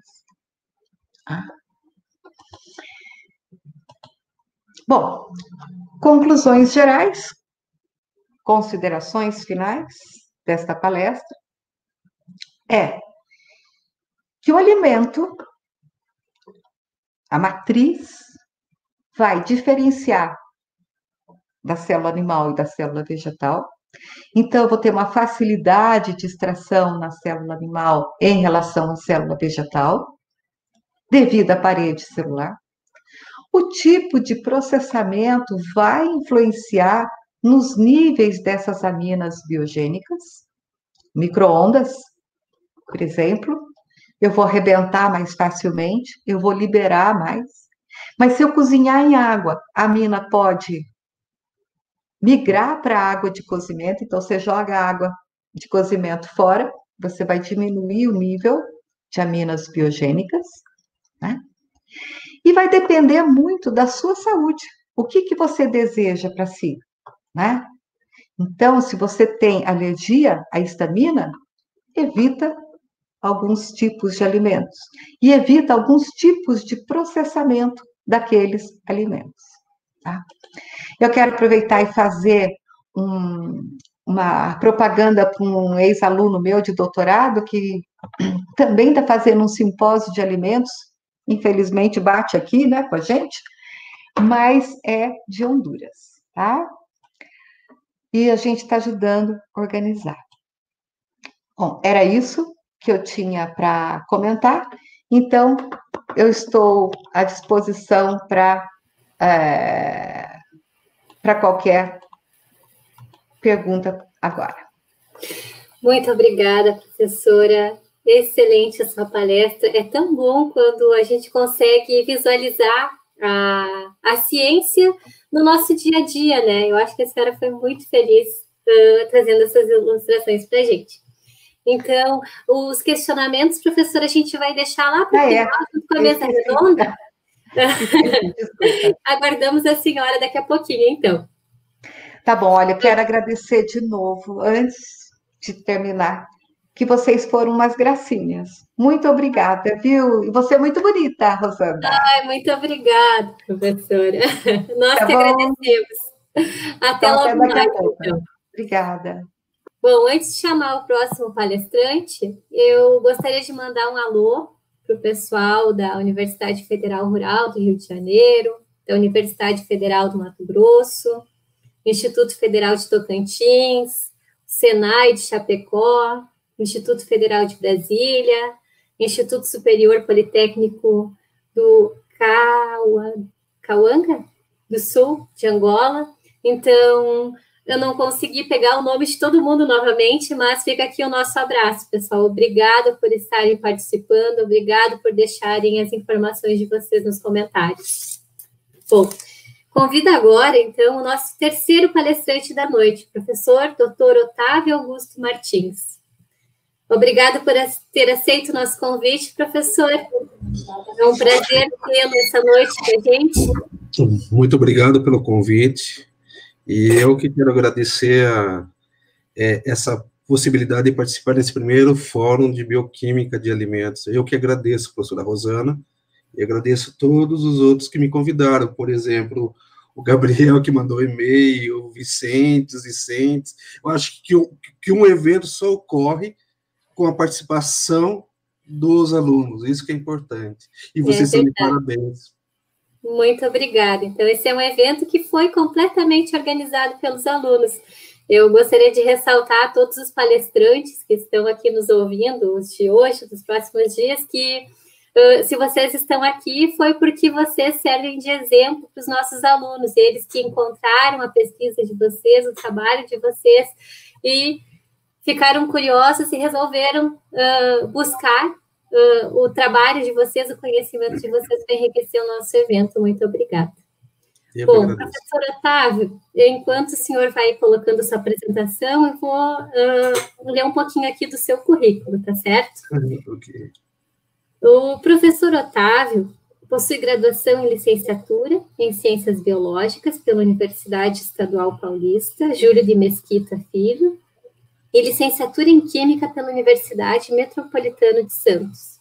Ele é mestre em zootecnia e doutor em Ciências Biológicas pela Universidade Estadual Paulista Júlio Mesquita Filho, com período sanduíche na Universidade de Alcalá de Henares, na Espanha, e Universidade de Ljubljana, na Eslovênia. Possui pós-doutorado envolvendo bioquímica e morfologia pela Universidade Estadual Paulista a USP, e atua na área de fisicoquímica e bioquímica de água e alimentos de origem animal, do Departamento de Produção Animal e Medicina Veterinária Preventiva da Faculdade de Medicina Veterinária e Zootecnia da Unesp. Participa de diversos grupos de pesquisa do CNPq e atua também como perito judicial na área de alimentos com cadastro no Conselho Regional de Química da Quarta Região. Professor Otávio, então, irá ministrar a palestra intitulada, intitulada Enzimas Indicadoras da Qualidade de Produtos de Origem Animal. Passo a palavra para ti, professor. Mais uma vez, obrigado. E espero que todos estejam com uma boa imagem, apesar que o tempo aqui está para chuva, a tempestade, mas tudo bem. Vamos lá. É, a palestra, eu procurei procurar um tema que pudesse é, mostrar a importância, né, dos alimentos de origem animal. Então, eu procurei mostrar o que vou abordar nessa palestra as enzimas, né, como já foi citado, indicadoras da qualidade de, de produtos de origem animal, tá bom? Para isso, vamos observar aqui alguns exemplos, né, de alimentos ou de produtos de origem animal. Aqui tem uma foto, né, mostrando, é, no caso, é o mel, né, carne, leite, derivados de carne, derivados de leite, pescado. Então, todos os alimentos de origem animal, ele tem o um processo enzimático, né? Tem todo um, um, as reações enzimáticas ali presente, tá? Então, na, na, palestra de hoje, eu vou abordar alguns alimentos de origem animal. Não dá para abordar todos os alimentos, não dá para abordar é, todas as enzimas. Eu vou procurar mostrar para vocês alguns como o próprio nome diz, exemplos. Então, é, e procurei também abordar de que forma, como que a gente é feito essas avaliações dessas enzimas numa rotina laboratorial, né?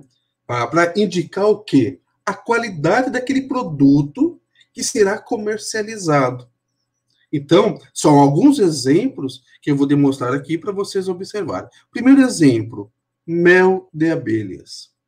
Então, vamos verificar quais são as enzimas que eu posso identificar no laboratório que vai indicar a qualidade, que pode indicar essa qualidade desse, desse, desses méis, né?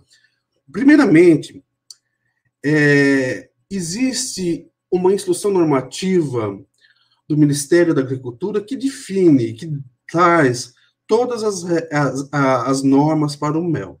Né?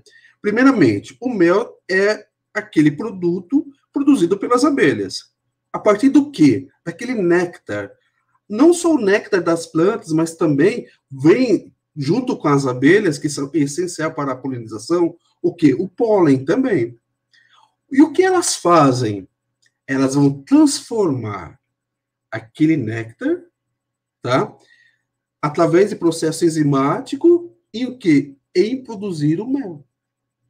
Então, olha a importância das abelhas. Tá? Aqui eu vou pôr uma observação da preocupação né, da, de usar uso produto químico para em, em vegetais, mas as, as abelhas estão sofrendo muito com isso. Então, a necessidade da proteção, né, para evitar que acabe esse produto essencial, que é o mel. Primeiramente, o que é o mel, né? O mel nada mais é do que um concentrado de açúcares. A predominância, o que predomina no mel é glicose e frutose. Também no mel vai ter outros elementos, outras moléculas, vão ter outras enzimas, vai ter aminoácidos, ácidos orgânicos, né? minerais, água, substâncias aromáticas, pigmentos e grãos de pólen. Tá? E também no mel pode ocorrer ter a presença de ceras. Porque no processo da extração do mel, o que vai acontecer? Pode vir também um pouquinho de cera, tá? Isso está tudo regulamentado nessa instrução normativa número 11 do Ministério da Agricultura, tá? Outra coisa importante, né? Quais são a, na rotina laboratorial, quais são as enzimas presentes no mel que vai indicar uma qualidade daquele produto? Primeiramente, a adição né, de, das enzimas no néctar vai ocorrer o que? Inúmeras mudanças, inúmeras reações químicas.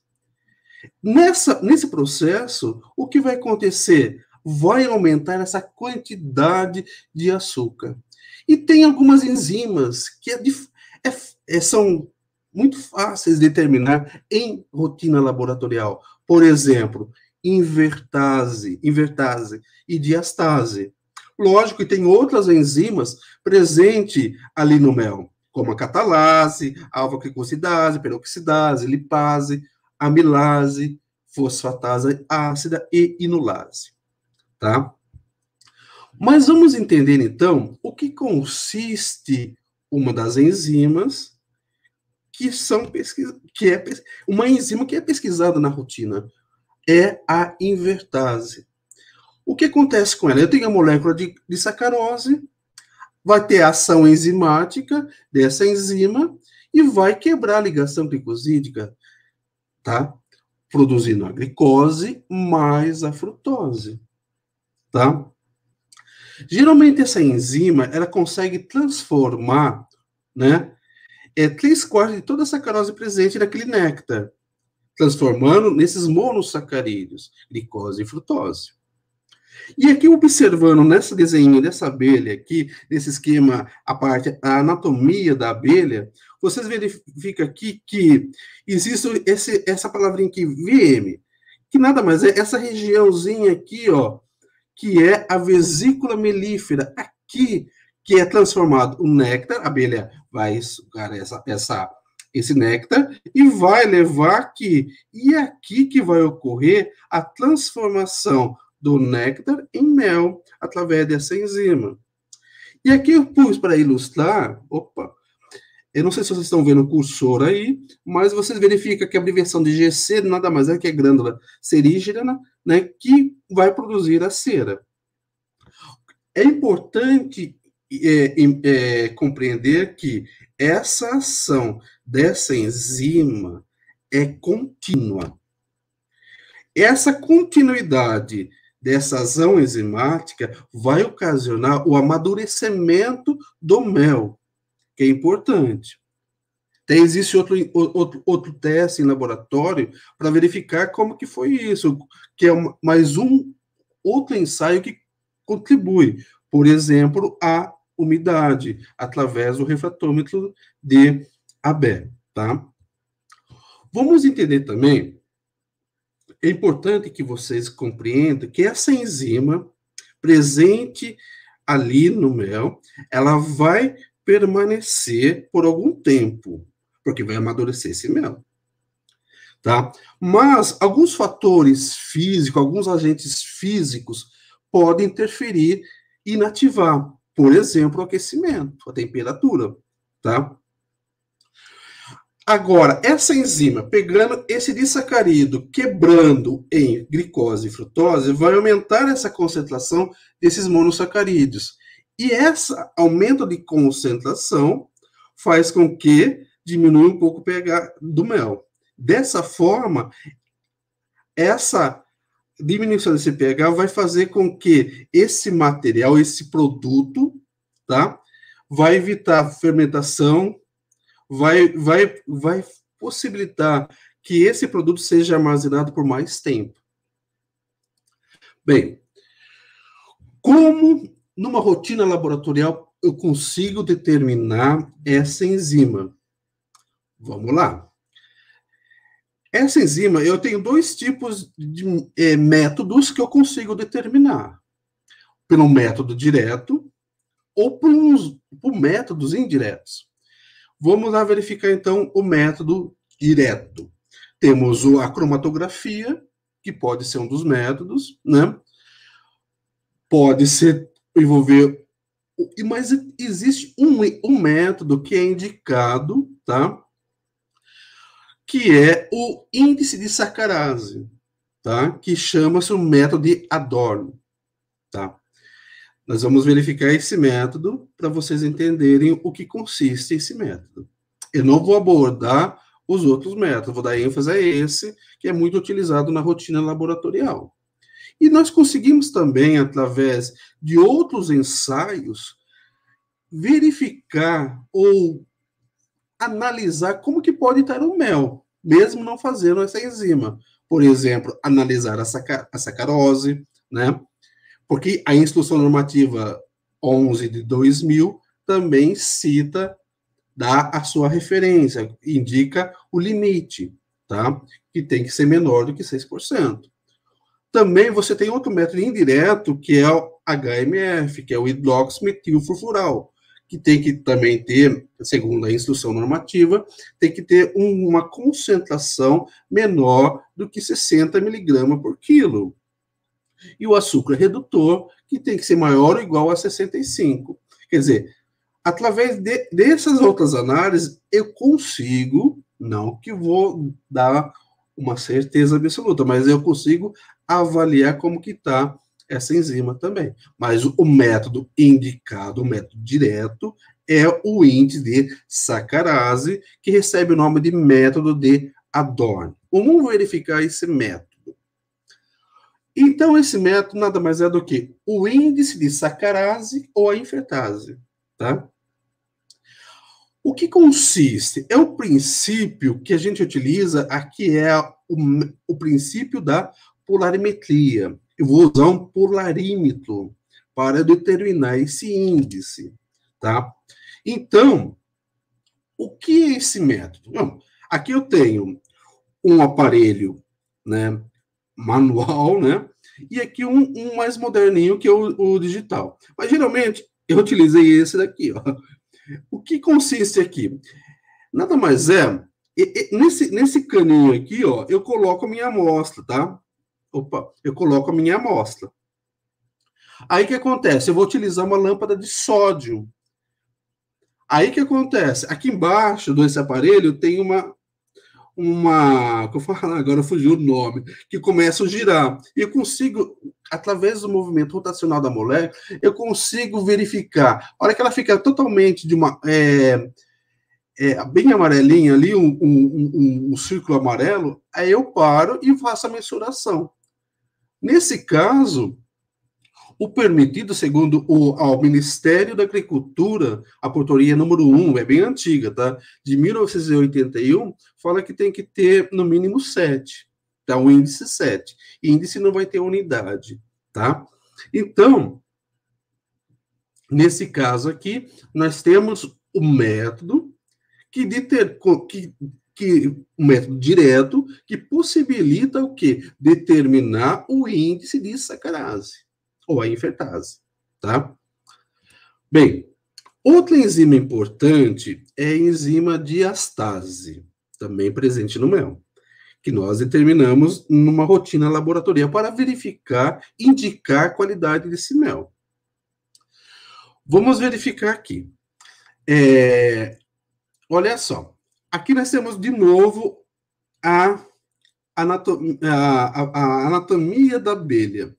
Existe aqui a chamada glândula hipofaríngea, que aqui está demonstrado de uma forma mais dissecada dela, né?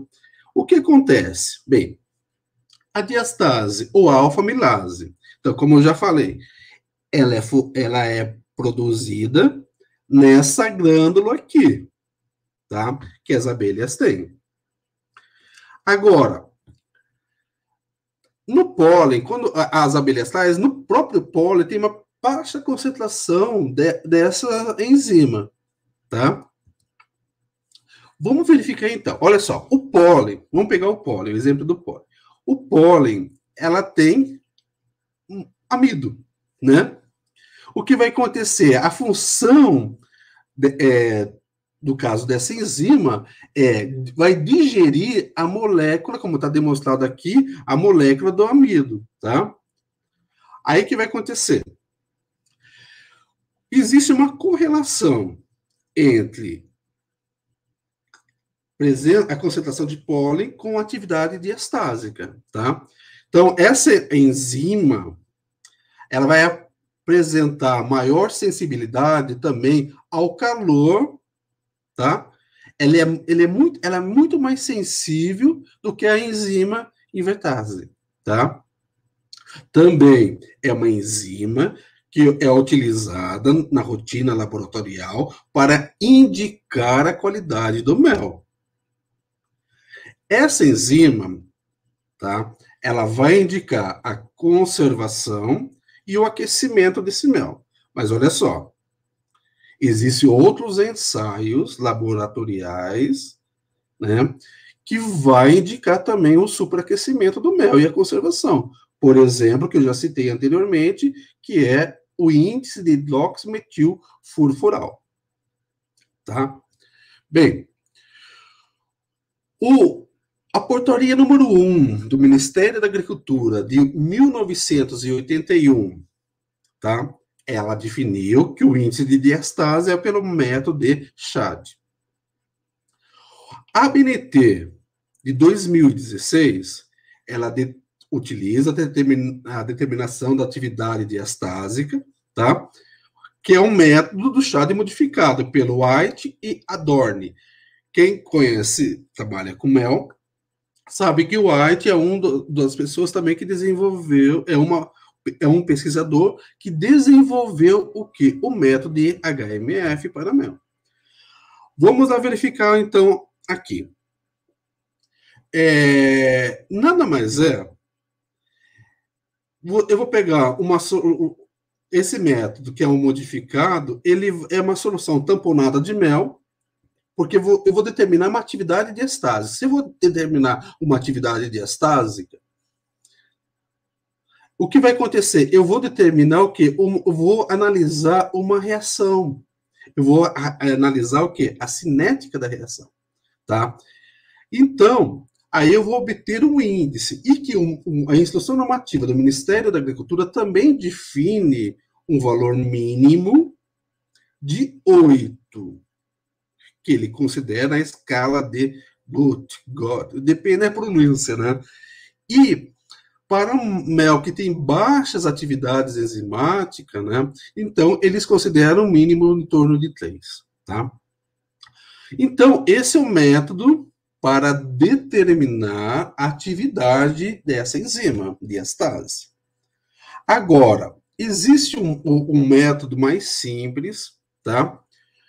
Pra, que é que, que está é, recomenda, que tem uma recomendação no Instituto Otto Lutz, né, numa norma, né, que é de 1985, tá?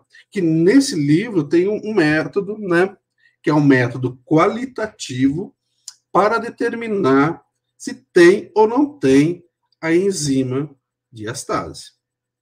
Como que a gente faz, né? Na verdade, eu vou pegar o mel, vou diluir com água, fazer uma solução de mel.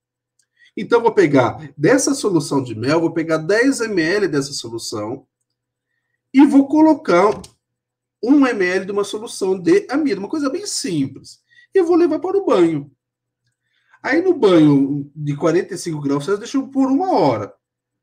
Aí depois lá eu tiro, tá? Esfrio um pouco aquele tubo que está representado aqui na figura e coloco um ml de solução de iodo ou tintura de iodo. A hora que eu colocar e ficar azul, significa que está positiva a reação qualitativa. Se for positivo, significa que o iodo ligou-se com o quê? Com o amido. Por isso que é positivo. Então, se é positivo a reação, significa que está ausente a enzima. Aí que acontece?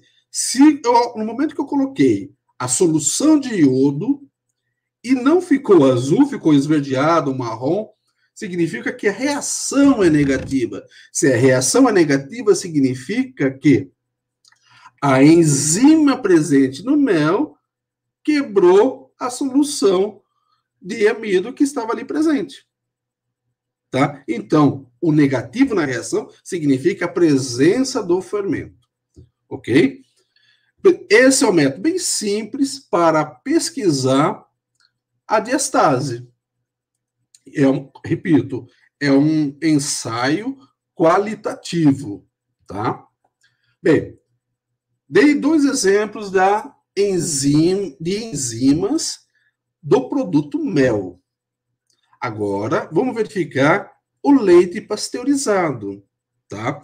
Vamos analisar, então, o leite pasteurizado. Primeiramente, também existe uma instrução normativa 76 de 2018, que define o que é leite pasteurizado, tá? Vou ler o que diz o artigo 12. É o leite fluido submetido a um dos processos de pasteurização, tá? Previsto na legislação vigente, envasado automaticamente em circuito fechado e destinado ao consumo humano e indireto. Então, quer dizer, é um leite pasteurizado. Então, eu vou ter que, vou ter que analisar, avaliar, para verificar se eu, a pasteurização daquele leite eficiente. Para isso, tá? Eu vou ter que avaliar duas enzimas, que é, como diz o capítulo 2 desse regulamento técnico, né, que diz que é leite pasteurizado, fala o seguinte, artigo 15.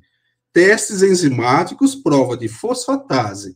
A, a enzima fosfatase em leite pasteurizado tem que ser negativa. E a prova de peroxidase no leite pasteurizado tem que ser positiva. Então, a instrução normativa número 51 define o que é um leite pasteurizado. É que é um tratamento térmico. E que faixa que foi esse tratamento térmico? De 72 graus Celsius a 75 durante 15 a 20 segundos. Agora, quando se faz a pasteurização do leite, o teste tem que ser negativo para a fosfatase e positivo para a peroxidase. Ok? Então, vamos lá. Vamos verificar, então, a pesquisa. Então, olha só, o que diz a instrução? A peroxidase tem que ser positiva para o leite pasteurizado. Então, peroxidase é uma enzima que está presente no leite. Ela vai servir como indicador dessa qualidade. Tá? Vai verificar se realmente é, ela, ela, ela é destruída quando a temperatura supera os 75 graus Celsius, acima de 20 segundos, tá? Então, vai avaliar se foi eficiente ou não a pasteurização. Aí, o que acontece? Eu vou pegar 10 ml desse leite, vou, vou descrever rapidinho a metodologia. Coloco-se no banho a 43 graus Celsius aproximadamente, com variação de 2 graus Celsius, a 5 minutos. Para quê? Porque às vezes o leite ele está muito gelado, então eu tenho que ativar essa enzima tá? Aí eu coloco uma solução de guaiacol a 1%. E três gotas, ou 0,5 ml, né, de água oxigenada desse volume. Se fica salmão, é positivo, quer dizer, está presente, tá? Quer dizer, a enzima não foi destruída, né, naquele leite. E o negativo fica branco, cor do leite. Aí eu tenho, eu tenho eu demonstro aqui para vocês a oxidação do guaiacol a tetracoiacol. Aqui nós temos o guaiacol, representação da molécula do guaiacol, com a ação da oxigenada. Aí o que acontece? A ação da peroxidase, o que vai acontecer? Na verdade, a peroxidase vai quebrar, né? Vai a peroxidase do leite vai agir sobre o peróxido de hidrogênio, tá? e vai liberar oxigênio. Ah, mas nesse processo ocorre essa quebra da ligação tá, desse é, benzeno com o, a hidroxila, vai ter o rompimento né, dessa ligação e vai agregar-se às outras moléculas, formando o tetracoecol. Nesse caso, quando forma isso, ocorre a mudança. Fica salmão. Tá? Aqui está mostrando a reação dessa, é, é, mostrando os reagentes e o produto dessa reação aqui, do da enzima. Então, quer dizer, a enzima em leite pasteurizado, a peroxidase tem que ser positiva.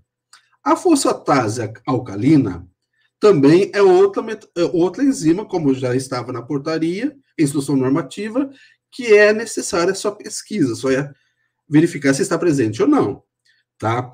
Ela está presente no leite cru, também ela é muito sensível à temperatura da pasteurização. Por isso que, se for, foi, é, foi realizada uma excelente pasteurização, ela vai ser destruída, ela não pode estar presente no leite pasteurizado, tá?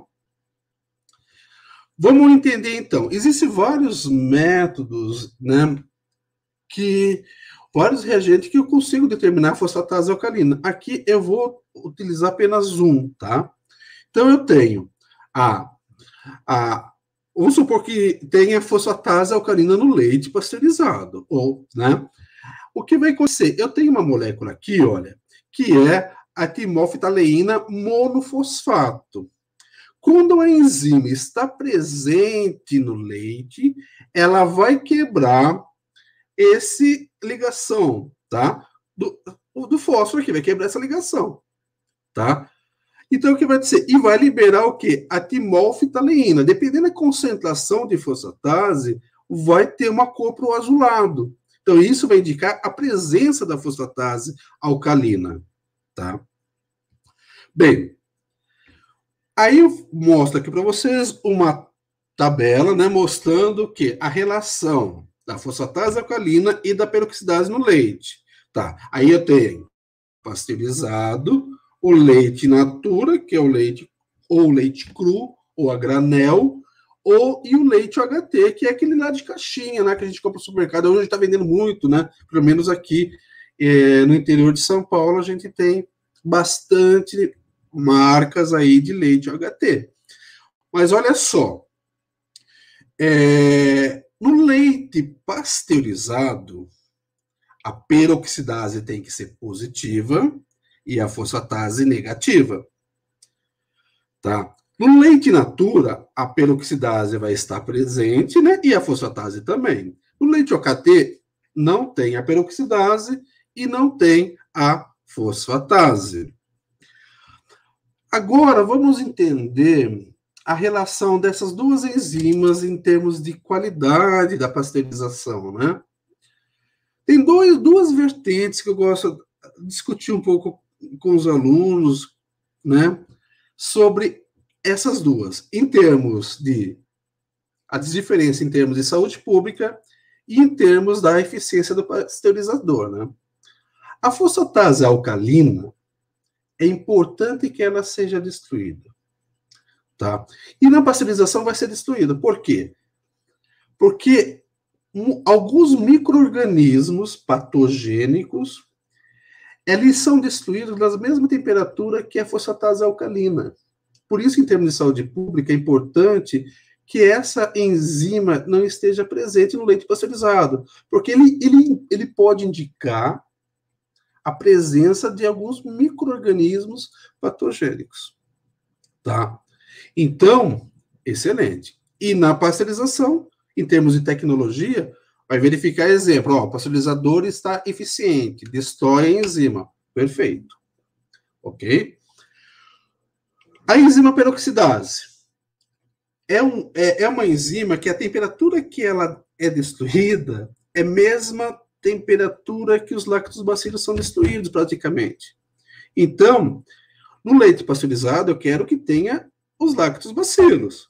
Então, ele tem que ele tem que estar lá presente. Então, a peroxidase é uma enzima que pode indicar a presença desses lactobacilos.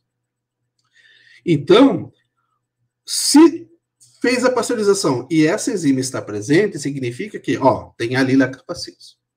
Tá? Então, aí mostra em termos de saúde pública e em termos de tecnologia, no caso do aparelho pasteurizador. Agora, a carne bovina. Bem, o meu o objetivo dessa palestra, lá no início eu citei que é mostrar para vocês, porque tem a maioria, muitos alunos estão assistindo, né? a importância de pesquisar as enzimas nos produtos de origem animal. E que tem uma facilidade de pesquisar em qualquer laboratório de pesquisa ou laboratório didático, porque é, é, são métodos fáceis, né? A carne bovina também é muito pesquisada hoje, não é a minha linha de pesquisa trabalhar com é, as enzimas de carne bovina. Mas muitos trabalhos têm demonstrado que o processo de maduração da carne é importante para a maciez.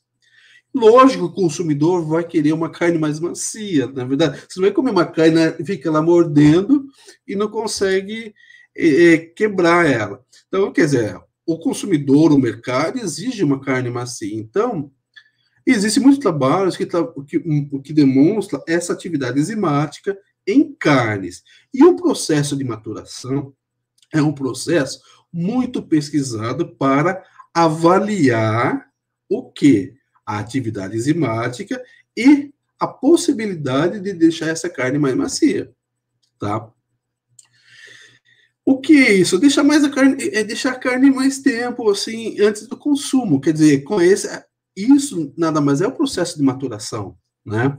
Também com a temperatura controlada né? Por quê?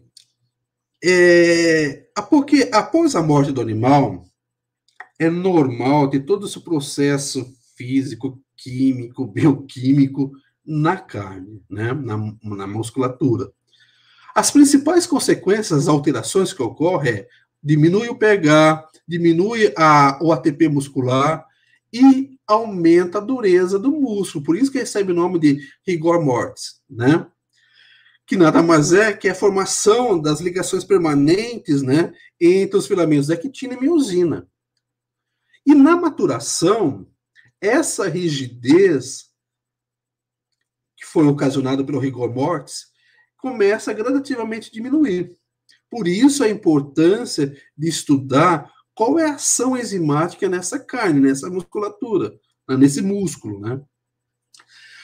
É, as enzimas da carne bovina, qual vai ser a importância de pesquisar? Porque ela vai aumentar, ela vai romper aquele é, processo que deixa meio rígido ali a, a, entre a quitina e miosina, vai começar rompendo, tá? E com isso, vai deixando a carne mais macia.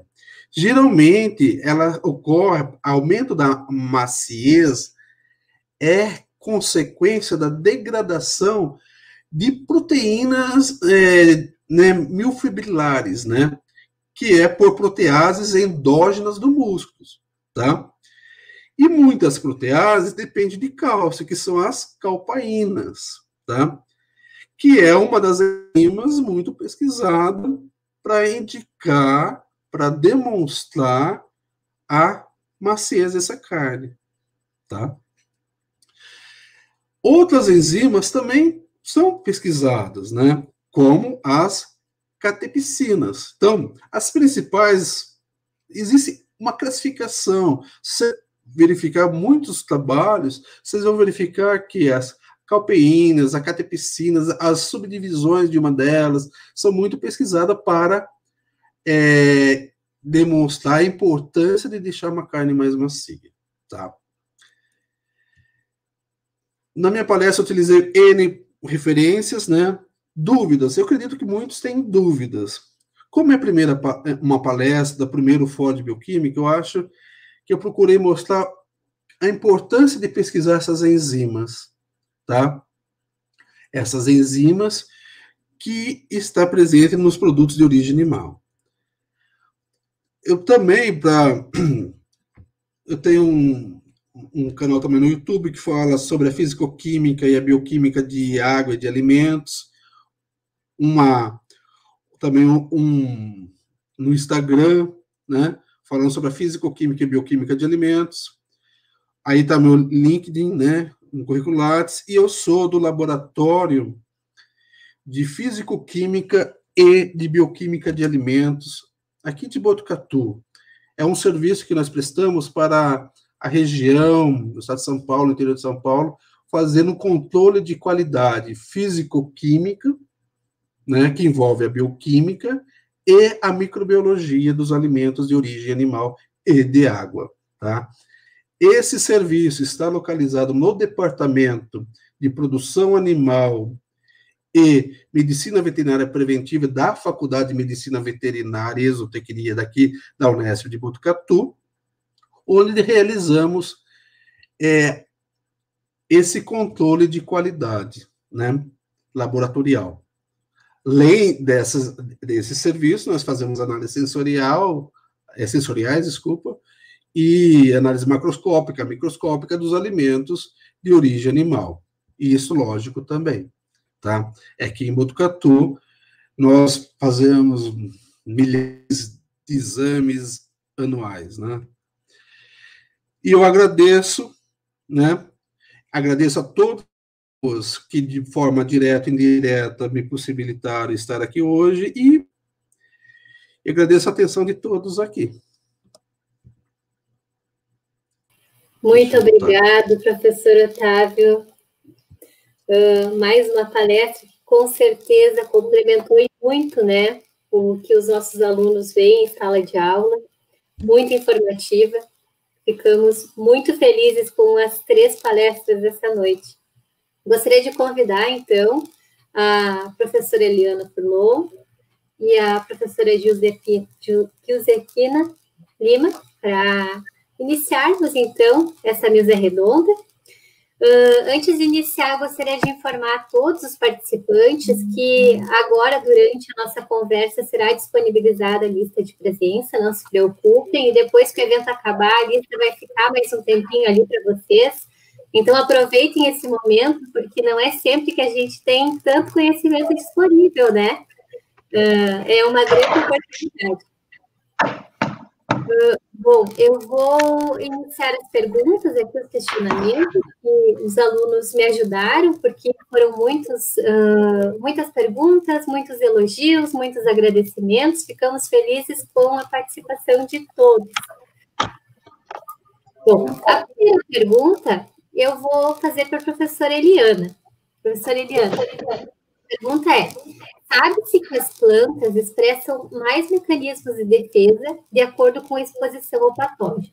Logo, encontrar essa redução dos polifenóis no grupo tratado com fungicida já não era esperado? É, era esperado, sim, né? Mas o que a gente estava tentando demonstrar é que Existem determinadas condições de manejo que afetam o metabolismo secundário e que isso pode ser visualizado com determinações relativamente simples, né? E a outro ponto que a gente quer mostrar com isso é que haverá um impacto na segurança alimentar e que isso está relacionado com o valor nutricional e funcional era essa a ideia. É, o que a gente observou não é uma situação inesperada, né? Mas outro ponto ainda, né, para fechar então essa ideia, é que isso teve uma série de variáveis afetando. Só que nós escolhemos uma para poder uh, demonstrar.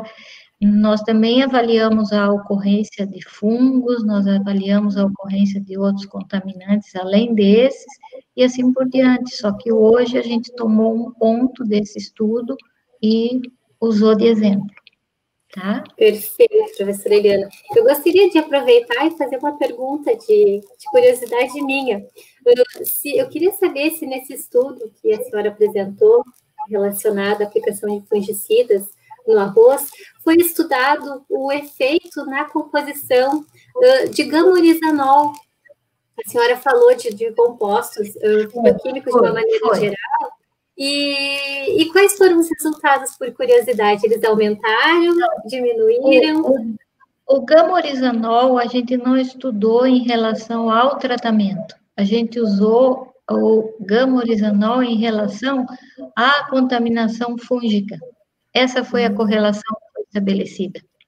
Então, a questão uh, que você me pergunta, nós não avaliamos em relação ao tratado e ao não tratado. Nós analisamos quando ocorria mais ou menos fungos toxigênicos. Entendi, muito obrigada. Vou aproveitar, vou fazer, eu acho, uns três questionamentos para cada, cada professor, até para a gente não se estender muito no tempo, né? Uh, mais uma pergunta, então, aqui para a professora Eliana. Uh, a utilização de resíduos agroindustriais como meios de cultivo e estudo das condições físicas e químicas seria interessante para a otimização da produção de bioprodutos por micro-organismos? Nós temos uma, algumas experiências que a gente isolou um microorganismo, um fungo do, do farelo de arroz, e desse fungo a gente usou, é, avaliou se era grase, fez as técnicas é, bio, é, moleculares de identificação, e nós verificamos que esse fungo, ele tem um potencial bastante interessante para aproveitar a casca do arroz e aumentar ou alterar o perfil de compostos fenólicos disponíveis no meio de cultivo. Então, é bastante promissor. A gente tem algumas coisas nessa linha também trabalhadas, porque também trabalhamos com a avaliação de atividade antifúngica dos recursos agropecuários da região, e esse foi uma um ponto interessante, liberar esses compostos fenólicos a partir de uma fermentação. Muito interessante. Teria assunto para a noite inteira, né, professora Eliana? É, teve bastante, bastante diversidade nesse estudo, né? Sempre em cima do arroz e foi bem, bem trabalhado. Bem trabalhado. E, por acaso, vocês chegaram a a estudar alguns outros uh, grãos, por exemplo, trigo, porque os dados que a senhora mostrou sobre atividade enzimática, principalmente da lipase e da protease, foram bem interessantes, né? Talvez os, os resultados, quando se estudar trigo, uh, sejam bem interessantes em relação à qualidade da farinha, né? E a qualidade de panificação posteriormente. Há um tempo atrás, a gente andou fazendo essa avaliação em farinhas também e em grãos de trigo, mas não foi com esse foco relacionado ao manejo, foi relacionado à própria contaminação fúngica mesmo. Então, a gente relacionava a atividade enzimática com a contaminação fúngica, não ao manejo. Não ao manejo muita coisa para ser estudada ainda, né? Muito obrigada, professora Eliana. Agora eu vou fazer aqui alguns questionamentos para a professora Josepina. Não sei se estou falando seu nome de forma correta, professora. Tá, sim, tá. Muito obrigada. Consegue. Bom, a primeira pergunta aqui é qual a porção diária recomendada do açafrão pimenta e pode ser junto com qualquer pimenta ou existe alguma pimenta específica lá no início da sua palestra? Então, do açafrão, não tem uma quantidade, mas nos testes, que eu tenho uma grande amiga aqui lá do hospital, lá da patologia, que ela faz os testes em ratos, né? É, com açafrão, com o gama-orizanol também, da professora Eliana, que a gente também estuda o gama, né? Não tem, porque ele não é muito absorvido. Entendeu? Esse é o problema da, do curcuminoide, que a gente não consegue absorver. Então, o que está sendo feito? O que, que a gente está estudando? Pimenta. Pimenta vermelha, sabe? Hum, já é suficiente.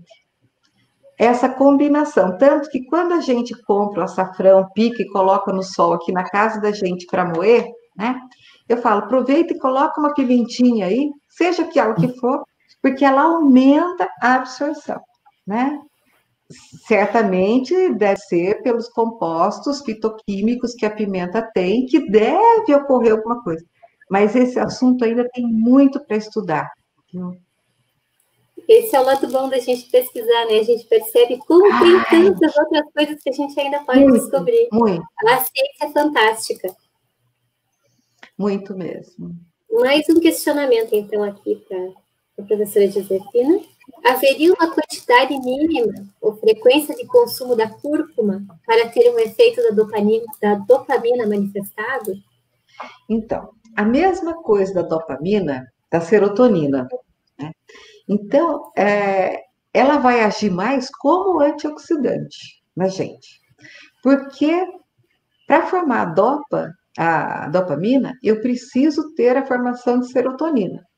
Se vai agir lá no cérebro, então eu preciso primeiro comer o triptofano, que tem bastante também na cúrcuma, principalmente quanto mais jovem for, né, se a gente lembrar alguma coisa fisio-vegetal, é quanto mais jovem, maior o teor de triptofano, porque tem auxina, então vai formar também serotonina. A partir da serotonina, então eu tenho a formação de dopamina, melatonina, etc. Né? O que eu preciso ter é uma quantidade, quanto eu vou ter de quantidade, depende. Depende do organismo, depende da pessoa. Por exemplo, uma pessoa que toma monoamina oxidase, um antidepressivo, né, um inibidor de monoamina oxidase, talvez ela precise de um nível um pouco maior de dó. Então, no lugar de comer a cúrcuma, vamos comer banana. Duas bananas. Até antes de palestra, aquela tremedeira que dá na gente, né, de segurar o microfone, né? Então, que a gente põe o microfone aqui no, né, para disfarçar, né? Ah, encosta aqui. A gente come banana. O que, que a banana faz? Ela tem o triptofano, que induz a formação de serotonina e melatonina. A banana não pode ser muito madura, né? E aí ele te dá, parece, uma tranquilidade. Você para, pelo menos, de tremer por fora. Por dentro, você vai tremer eternamente, né? Mas você para de tremer um pouco por fora. Então, quanto que eu tenho que comer de cúrcuma? Uns quilos, né? Como eu não, não posso comer tanta cúrcuma, então vamos comer banana, come uma carninha, né? Aqueles alimentos lá que, que foram comentados. E depende também do processamento, né? Teve uma pergunta que eu vi de uma menina ali no chat do YouTube, eu vou entrar também, aproveitar do processamento, que ela perguntou como que o micro-ondas é, aumenta a, é, a biodisponibilidade, porque ele arrebenta mais fácil a célula. E você não cozinha com água, porque a, a, essa substância ela é hidrossolúvel. Então ela vai sair, não é que é hidrossolúvel, ela é mais polar. Então ela vai sair mais facilmente na água. E o micro-ondas não tem. Então não é que é, ele aumenta, ele dá a condição de arrebentar mais fácil a parede celular. Então você consegue chegar mais facilmente na substância bioativa. Né? E se as ondas fazem mal? Não, né? Mas dependendo da sua crença, tem gente que não come. Então vamos comer? Depende do que? Cozido, com casca. Existem outras opções que não sejam micro-ondas. É que essa pergunta eu achei bem interessante, por isso que eu quis colocar. Sim, até eu acho que complementando uh, essa pergunta, alguém perguntou, mas come banana também com a casca? Há diferença Sim. em concentração de nutrientes entre a polpa Sim. e a casca nesse caso? Existem trabalhos fantásticos. Fala, eu não sei essa pessoa, mas depois eu posso mandar meu e-mail, porque eu nem coloco meu e-mail, né?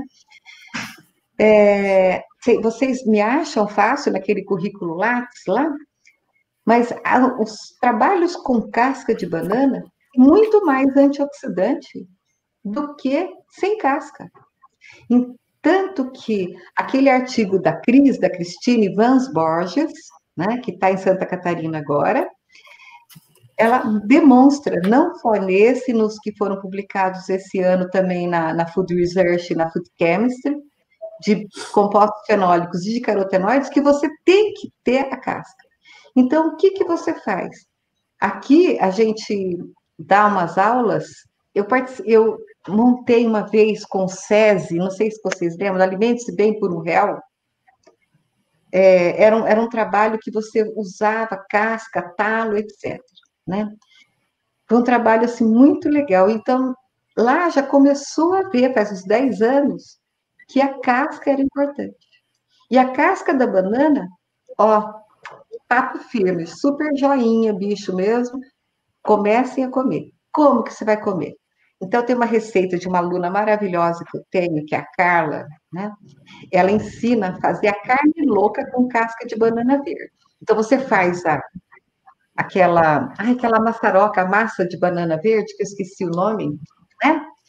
E você biomassa. pega isso, a biomassa. Então você cozinha inteira, né? A biomassa. Você cozinha a banana com a casca. Então já tem a migração dos compostos da casca para a polpa. Leia um artigo da Cris desse ano da Food Research. Então eles migram da casca para a polpa. Essa casca a gente desfia com o garfo, sabe? E aí você tempera com tomate, pimentão, essas coisas, e você tem uma carne louca, que é né, vegana, né? Uma carne louca, super saborosa. Então você está aproveitando a polpa para fazer a biomassa e a, a casca verde para fazer essa carne louca, que tem altos níveis de compostos fenólicos. Perfeito. Eu já, já vi receitas também, inclusive eu ministrei uma oficina há alguns anos atrás ah, sobre legal. a elaboração de uh, geleia com a casca da banana, uma maneira de aproveitar ah, o fruto de forma integral. Então, pessoal, mais uma alternativa que pode ser utilizada. Então, e aproveita que vocês têm uns laboratórios muito bons aí, da professora Eliana, que eu vi que é fantástico. Vai lá no laboratório dela, faz essa geleia e detecta, pelo fólim mesmo, o nível de compostos fenólicos e flavonoides pelo cloreto de alumínio, só para ver. Isso é um resultado extremamente interessante.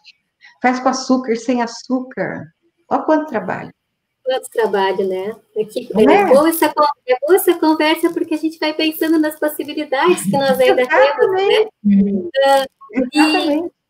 E pensando em possibilidades, agora eu quero tentar juntar um pouquinho de, de, cada uma das palestras, porque a professora Eliana falou de mais uh, voltado à área de vegetal, a professora Josefina falou um pouquinho da parte vegetal, animal, a professora Otávio da parte animal. E no início da palestra da professora Eliana, a professora Eliana falou sobre a segurança alimentar. Eu, a, o meu questionamento é relacionado à segurança alimentar e a legislação. A legislação, ela tem acompanhado a segurança alimentar do ponto de vista de vocês? Do ponto de vista lá do, da aplicação dos uh, teazóis, por exemplo, professora Eliana mencionou, uh, e do, das aninas biogênicas, conforme a professora Josefina uh, falou na palestra dela, e em relação aos produtos carnes também. Uh, queria saber da, da, opinião de vocês se a, se a legislação ela vem evoluindo junto com a demanda da segurança alimentar aqui no Brasil. Qual é o ponto de vista de vocês?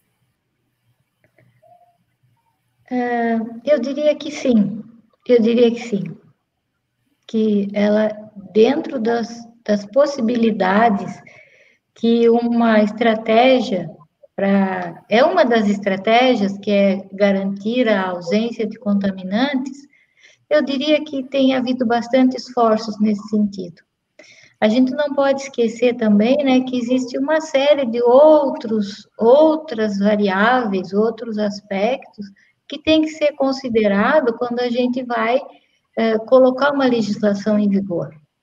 Entre as coisas que são é, difíceis de manejar, por exemplo, é o fato de ter informações sobre os alimentos nacionais e os seus níveis de contaminação, os seus níveis de impacto nesse quesito. Então, eu acho que, eu acho que esse é o maior limite, e depois tem a questão de, uh, das as cadeias agroindustriais e todos os envolvidos naquele sistema uh, ficarem conscientes. Não, o problema efetivamente existe.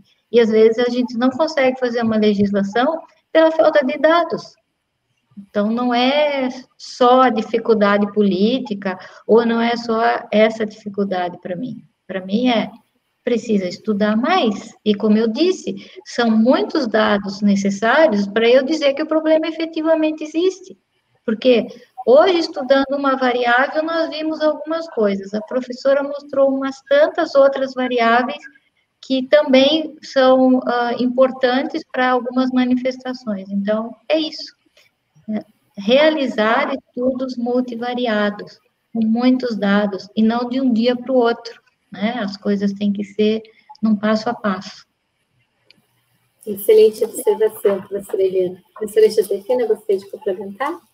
Eu concordo, assino embaixo o que a professora falou. E ainda a gente não pode esquecer que a gente, sendo Brasil, nós estamos muito avançados até, uhum. né?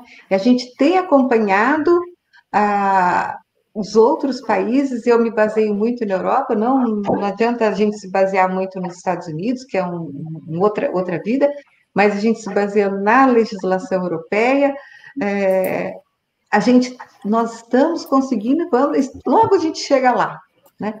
Mas eu acho que a gente está muito avançado, muito mesmo. Falta pouco, né? Mas vai depender da gente, nós, Sim. estudantes de bioquímica da área. Né? Eu posso responder uma pergunta que uma pessoa fez ali no chat? Pode. Depois a gente passa a palavra para a professora Tati. Então, prometo que vai ser a última, mas é que eu não aguento. Aí teve uma pessoa que eu gostei muito da pergunta, que se ela pergunta se é, é melhor banana do que chocolate, né? Eu falaria o seguinte, hoje, então, a gente está com aquela TPM, né? Com aquela vontade de comer um chocolatinho, né? Ou tá nervoso com o filho, sei lá. Pega uma banana, faz uma calda de chocolate, põe por cima e come. Hum, né? Vai ser tão bom, você vai ter os, as duas coisas, a banana e o chocolate, o docinho também, porque o carboidrato alegra a vida. Né? Por isso que italiano, ó, olha aqui, ó, fala com a mão, né? E é feliz, né? Prometo ficar quieta agora, hein, Otávio? Ó. Não pode falar. Então, Rosana, sobre o seu questionamento sobre a, o controle, é, em termos de alimentos de origem animal, existe um com esse controle aí dos, dos componentes, principalmente leite, carne e mel. Então, é, o controle é rígido. Até a professora Josefina é, citou lá o nitrato e nitrito, nos embutidos existe um controle rígido sobre esses aditivos, que são os conservadores, né? É, no leite existe o controle, porque existe os profissionais responsáveis para aquela unidade fabril, então existe. E estou falando em termos de origem animal, né? principalmente para leite, água e carne. Então, é, como a professora Josefina também citou, é, o Brasil tem uma equipe excelente nesse controle, sim. Muitos profissionais capacitados que estão controlando, sim.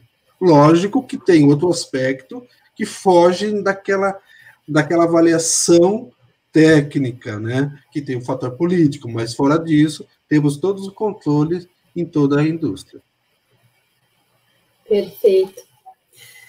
Bom, agora eu vou seguir para uns questionamentos mais relacionados à, à palestra do professor Otávio. Tem uma pergunta bem difícil aqui, professor Otávio. Uhum. Como que eu posso observar a olho nu, sem uso de nenhum equipamento, se o mel é realmente puro ou se tem alguma adulteração?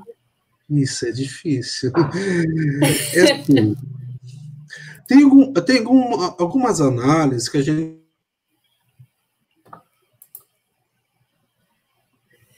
consegue avaliar. Hum, professor, uh, deu uma falhada na, na sua voz. Eu não sei se foi para todo mundo ou se foi só para mim. Poderia repetir?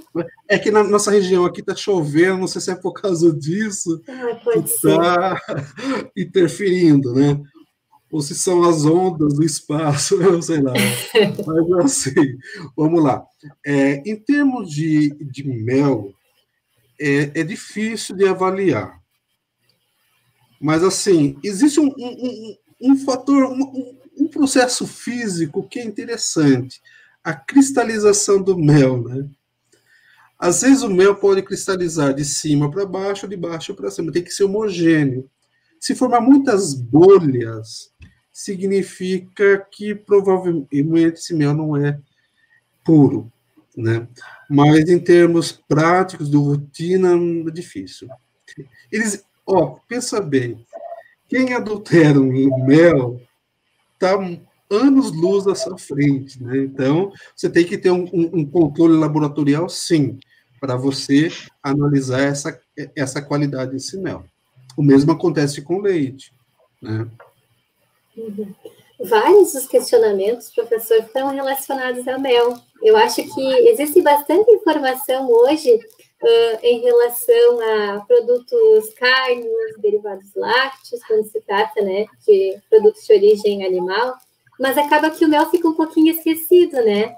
E é. até, até eu acho que por conhecimento, uh, para tentar conhecer um pouquinho mais sobre o assunto, uh, boa parte dos questionamentos foram relacionados ao mel. Aqui tem, tem outro questionamento que é quando o mel de abelha fica açucarado, tem como reverter e torná-lo líquido novamente? É, desculpa, eu não escutei. Pode repetir novamente a pergunta? Claro. Uh, um, um, questionamento lá do nosso chat foi: quando o mel de abelha fica açucarado, tem como reverter e torná-lo líquido novamente? É, o brasileiro gosta do mel líquido, né? Bem, né? Mas assim, Única coisa, tem como fazer? Tem, no banho-maria, mas você vai ter o controle de temperatura na sua casa? Então, né? Porque senão, se você aquecer muito esse mel, você vai ter aquele processo lá do aquecimento. Então, é, vai ter problema enzimático? Vai. Vai ter problema de hidroximetilfurfural? Vai ter. Então, se você tiver um controle de temperatura, seja abaixo de 42 graus Celsius, até 42 graus Celsius, seria ideal pôr no banho. Mas geralmente a, a população, o cidadão, não tem um banho-maria com controle. Eles vão colocar numa água fervendo, então não vai ter. Então você vai perder todo. No micro-ondas. Micro-ondas. então, não tem condição. Então, existe um método para isso? laboratorial tenho. Residencial fica mais difícil. Eu não vou ter o controle de temperatura. Né? Sim. Obrigado, professor. Mais um questionamento aqui, interessante. O mel proveniente de abelhas sem ferrão ou o mel de melato possui particularidades em, em, nas reações enzimáticas? Vamos lá. Eu verifiquei essa questão bem aqui no chat, né? É, é uma questão bem elaborada. Porém, assim, vamos lá. É, existe diferença? Sim, existe uma diferença de composição, correto? Agora, vamos lá. É, alguns trabalhos é, citam algumas coisas que existe, outros começam a questionar, e está muito no início de muitas pesquisas. Então, seria muito imaturo da minha parte também afirmar que existe uma diferença categoricamente. Sim, aparentemente, sim. Agora, eu não tenho é, noção para afirmar isso em termos das pesquisas desenvolvidas atualmente. Perfeito. Bom, nós tivemos outras perguntas aqui, mas muitas eu não consegui acompanhar também. Peço desculpa aos nossos ouvintes. Uh, de qualquer forma, os professores deixaram o contato deles aqui, contatem eles para responder os questionamentos. E como nós já passamos um pouquinho do horário dessa noite, eu gostaria de agradecer novamente por terem aceito o nosso convite. Com certeza, essa noite foi uh, fantástica, aprendemos muito. Obrigada a cada um de vocês pelo tempo e pela, por essa troca de conhecimento. Ah, obrigada a vocês pela oportunidade. Muito obrigada mesmo e pelo carinho que nos trataram ao longo de, desse período que a gente teve convivendo. Muito obrigada. Eu também quero agradecer o convite. Como eu disse, fiquei muito honrada e fiquei mais cheia de serotonina e dopamina, né? Depois de conhecer a professora Liliane, a professora Rosana, e, e encontrar novamente Otávio, que daqui de Botucatu somos vizinhos, né? Trabalhamos muito com, com as mesmas coisas. Então, fiquei muito feliz, muito obrigada. O que vocês precisarem, eu vou bater na porta da Eliana, pode me esperar aí com o Gama Orizanol, Tá? Tá bom, tá bom. Olha, online, ao vivo, está dizendo tá bom. Vocês escutaram, né? O Brasil inteiro escutou. E Angola também. Então, muito obrigada. Manda um beijo aí para o Gabriel, para o Vicente, que ajudou demais a gente. E a to Ah, e ao reitor, que é super mocinho e simpático. Né? Muito obrigada, viu? Obrigada. Bem, eu queria agradecer também. Uma das coisas mais gratificantes é esse momento ímpar que nós estamos vivendo hoje, né?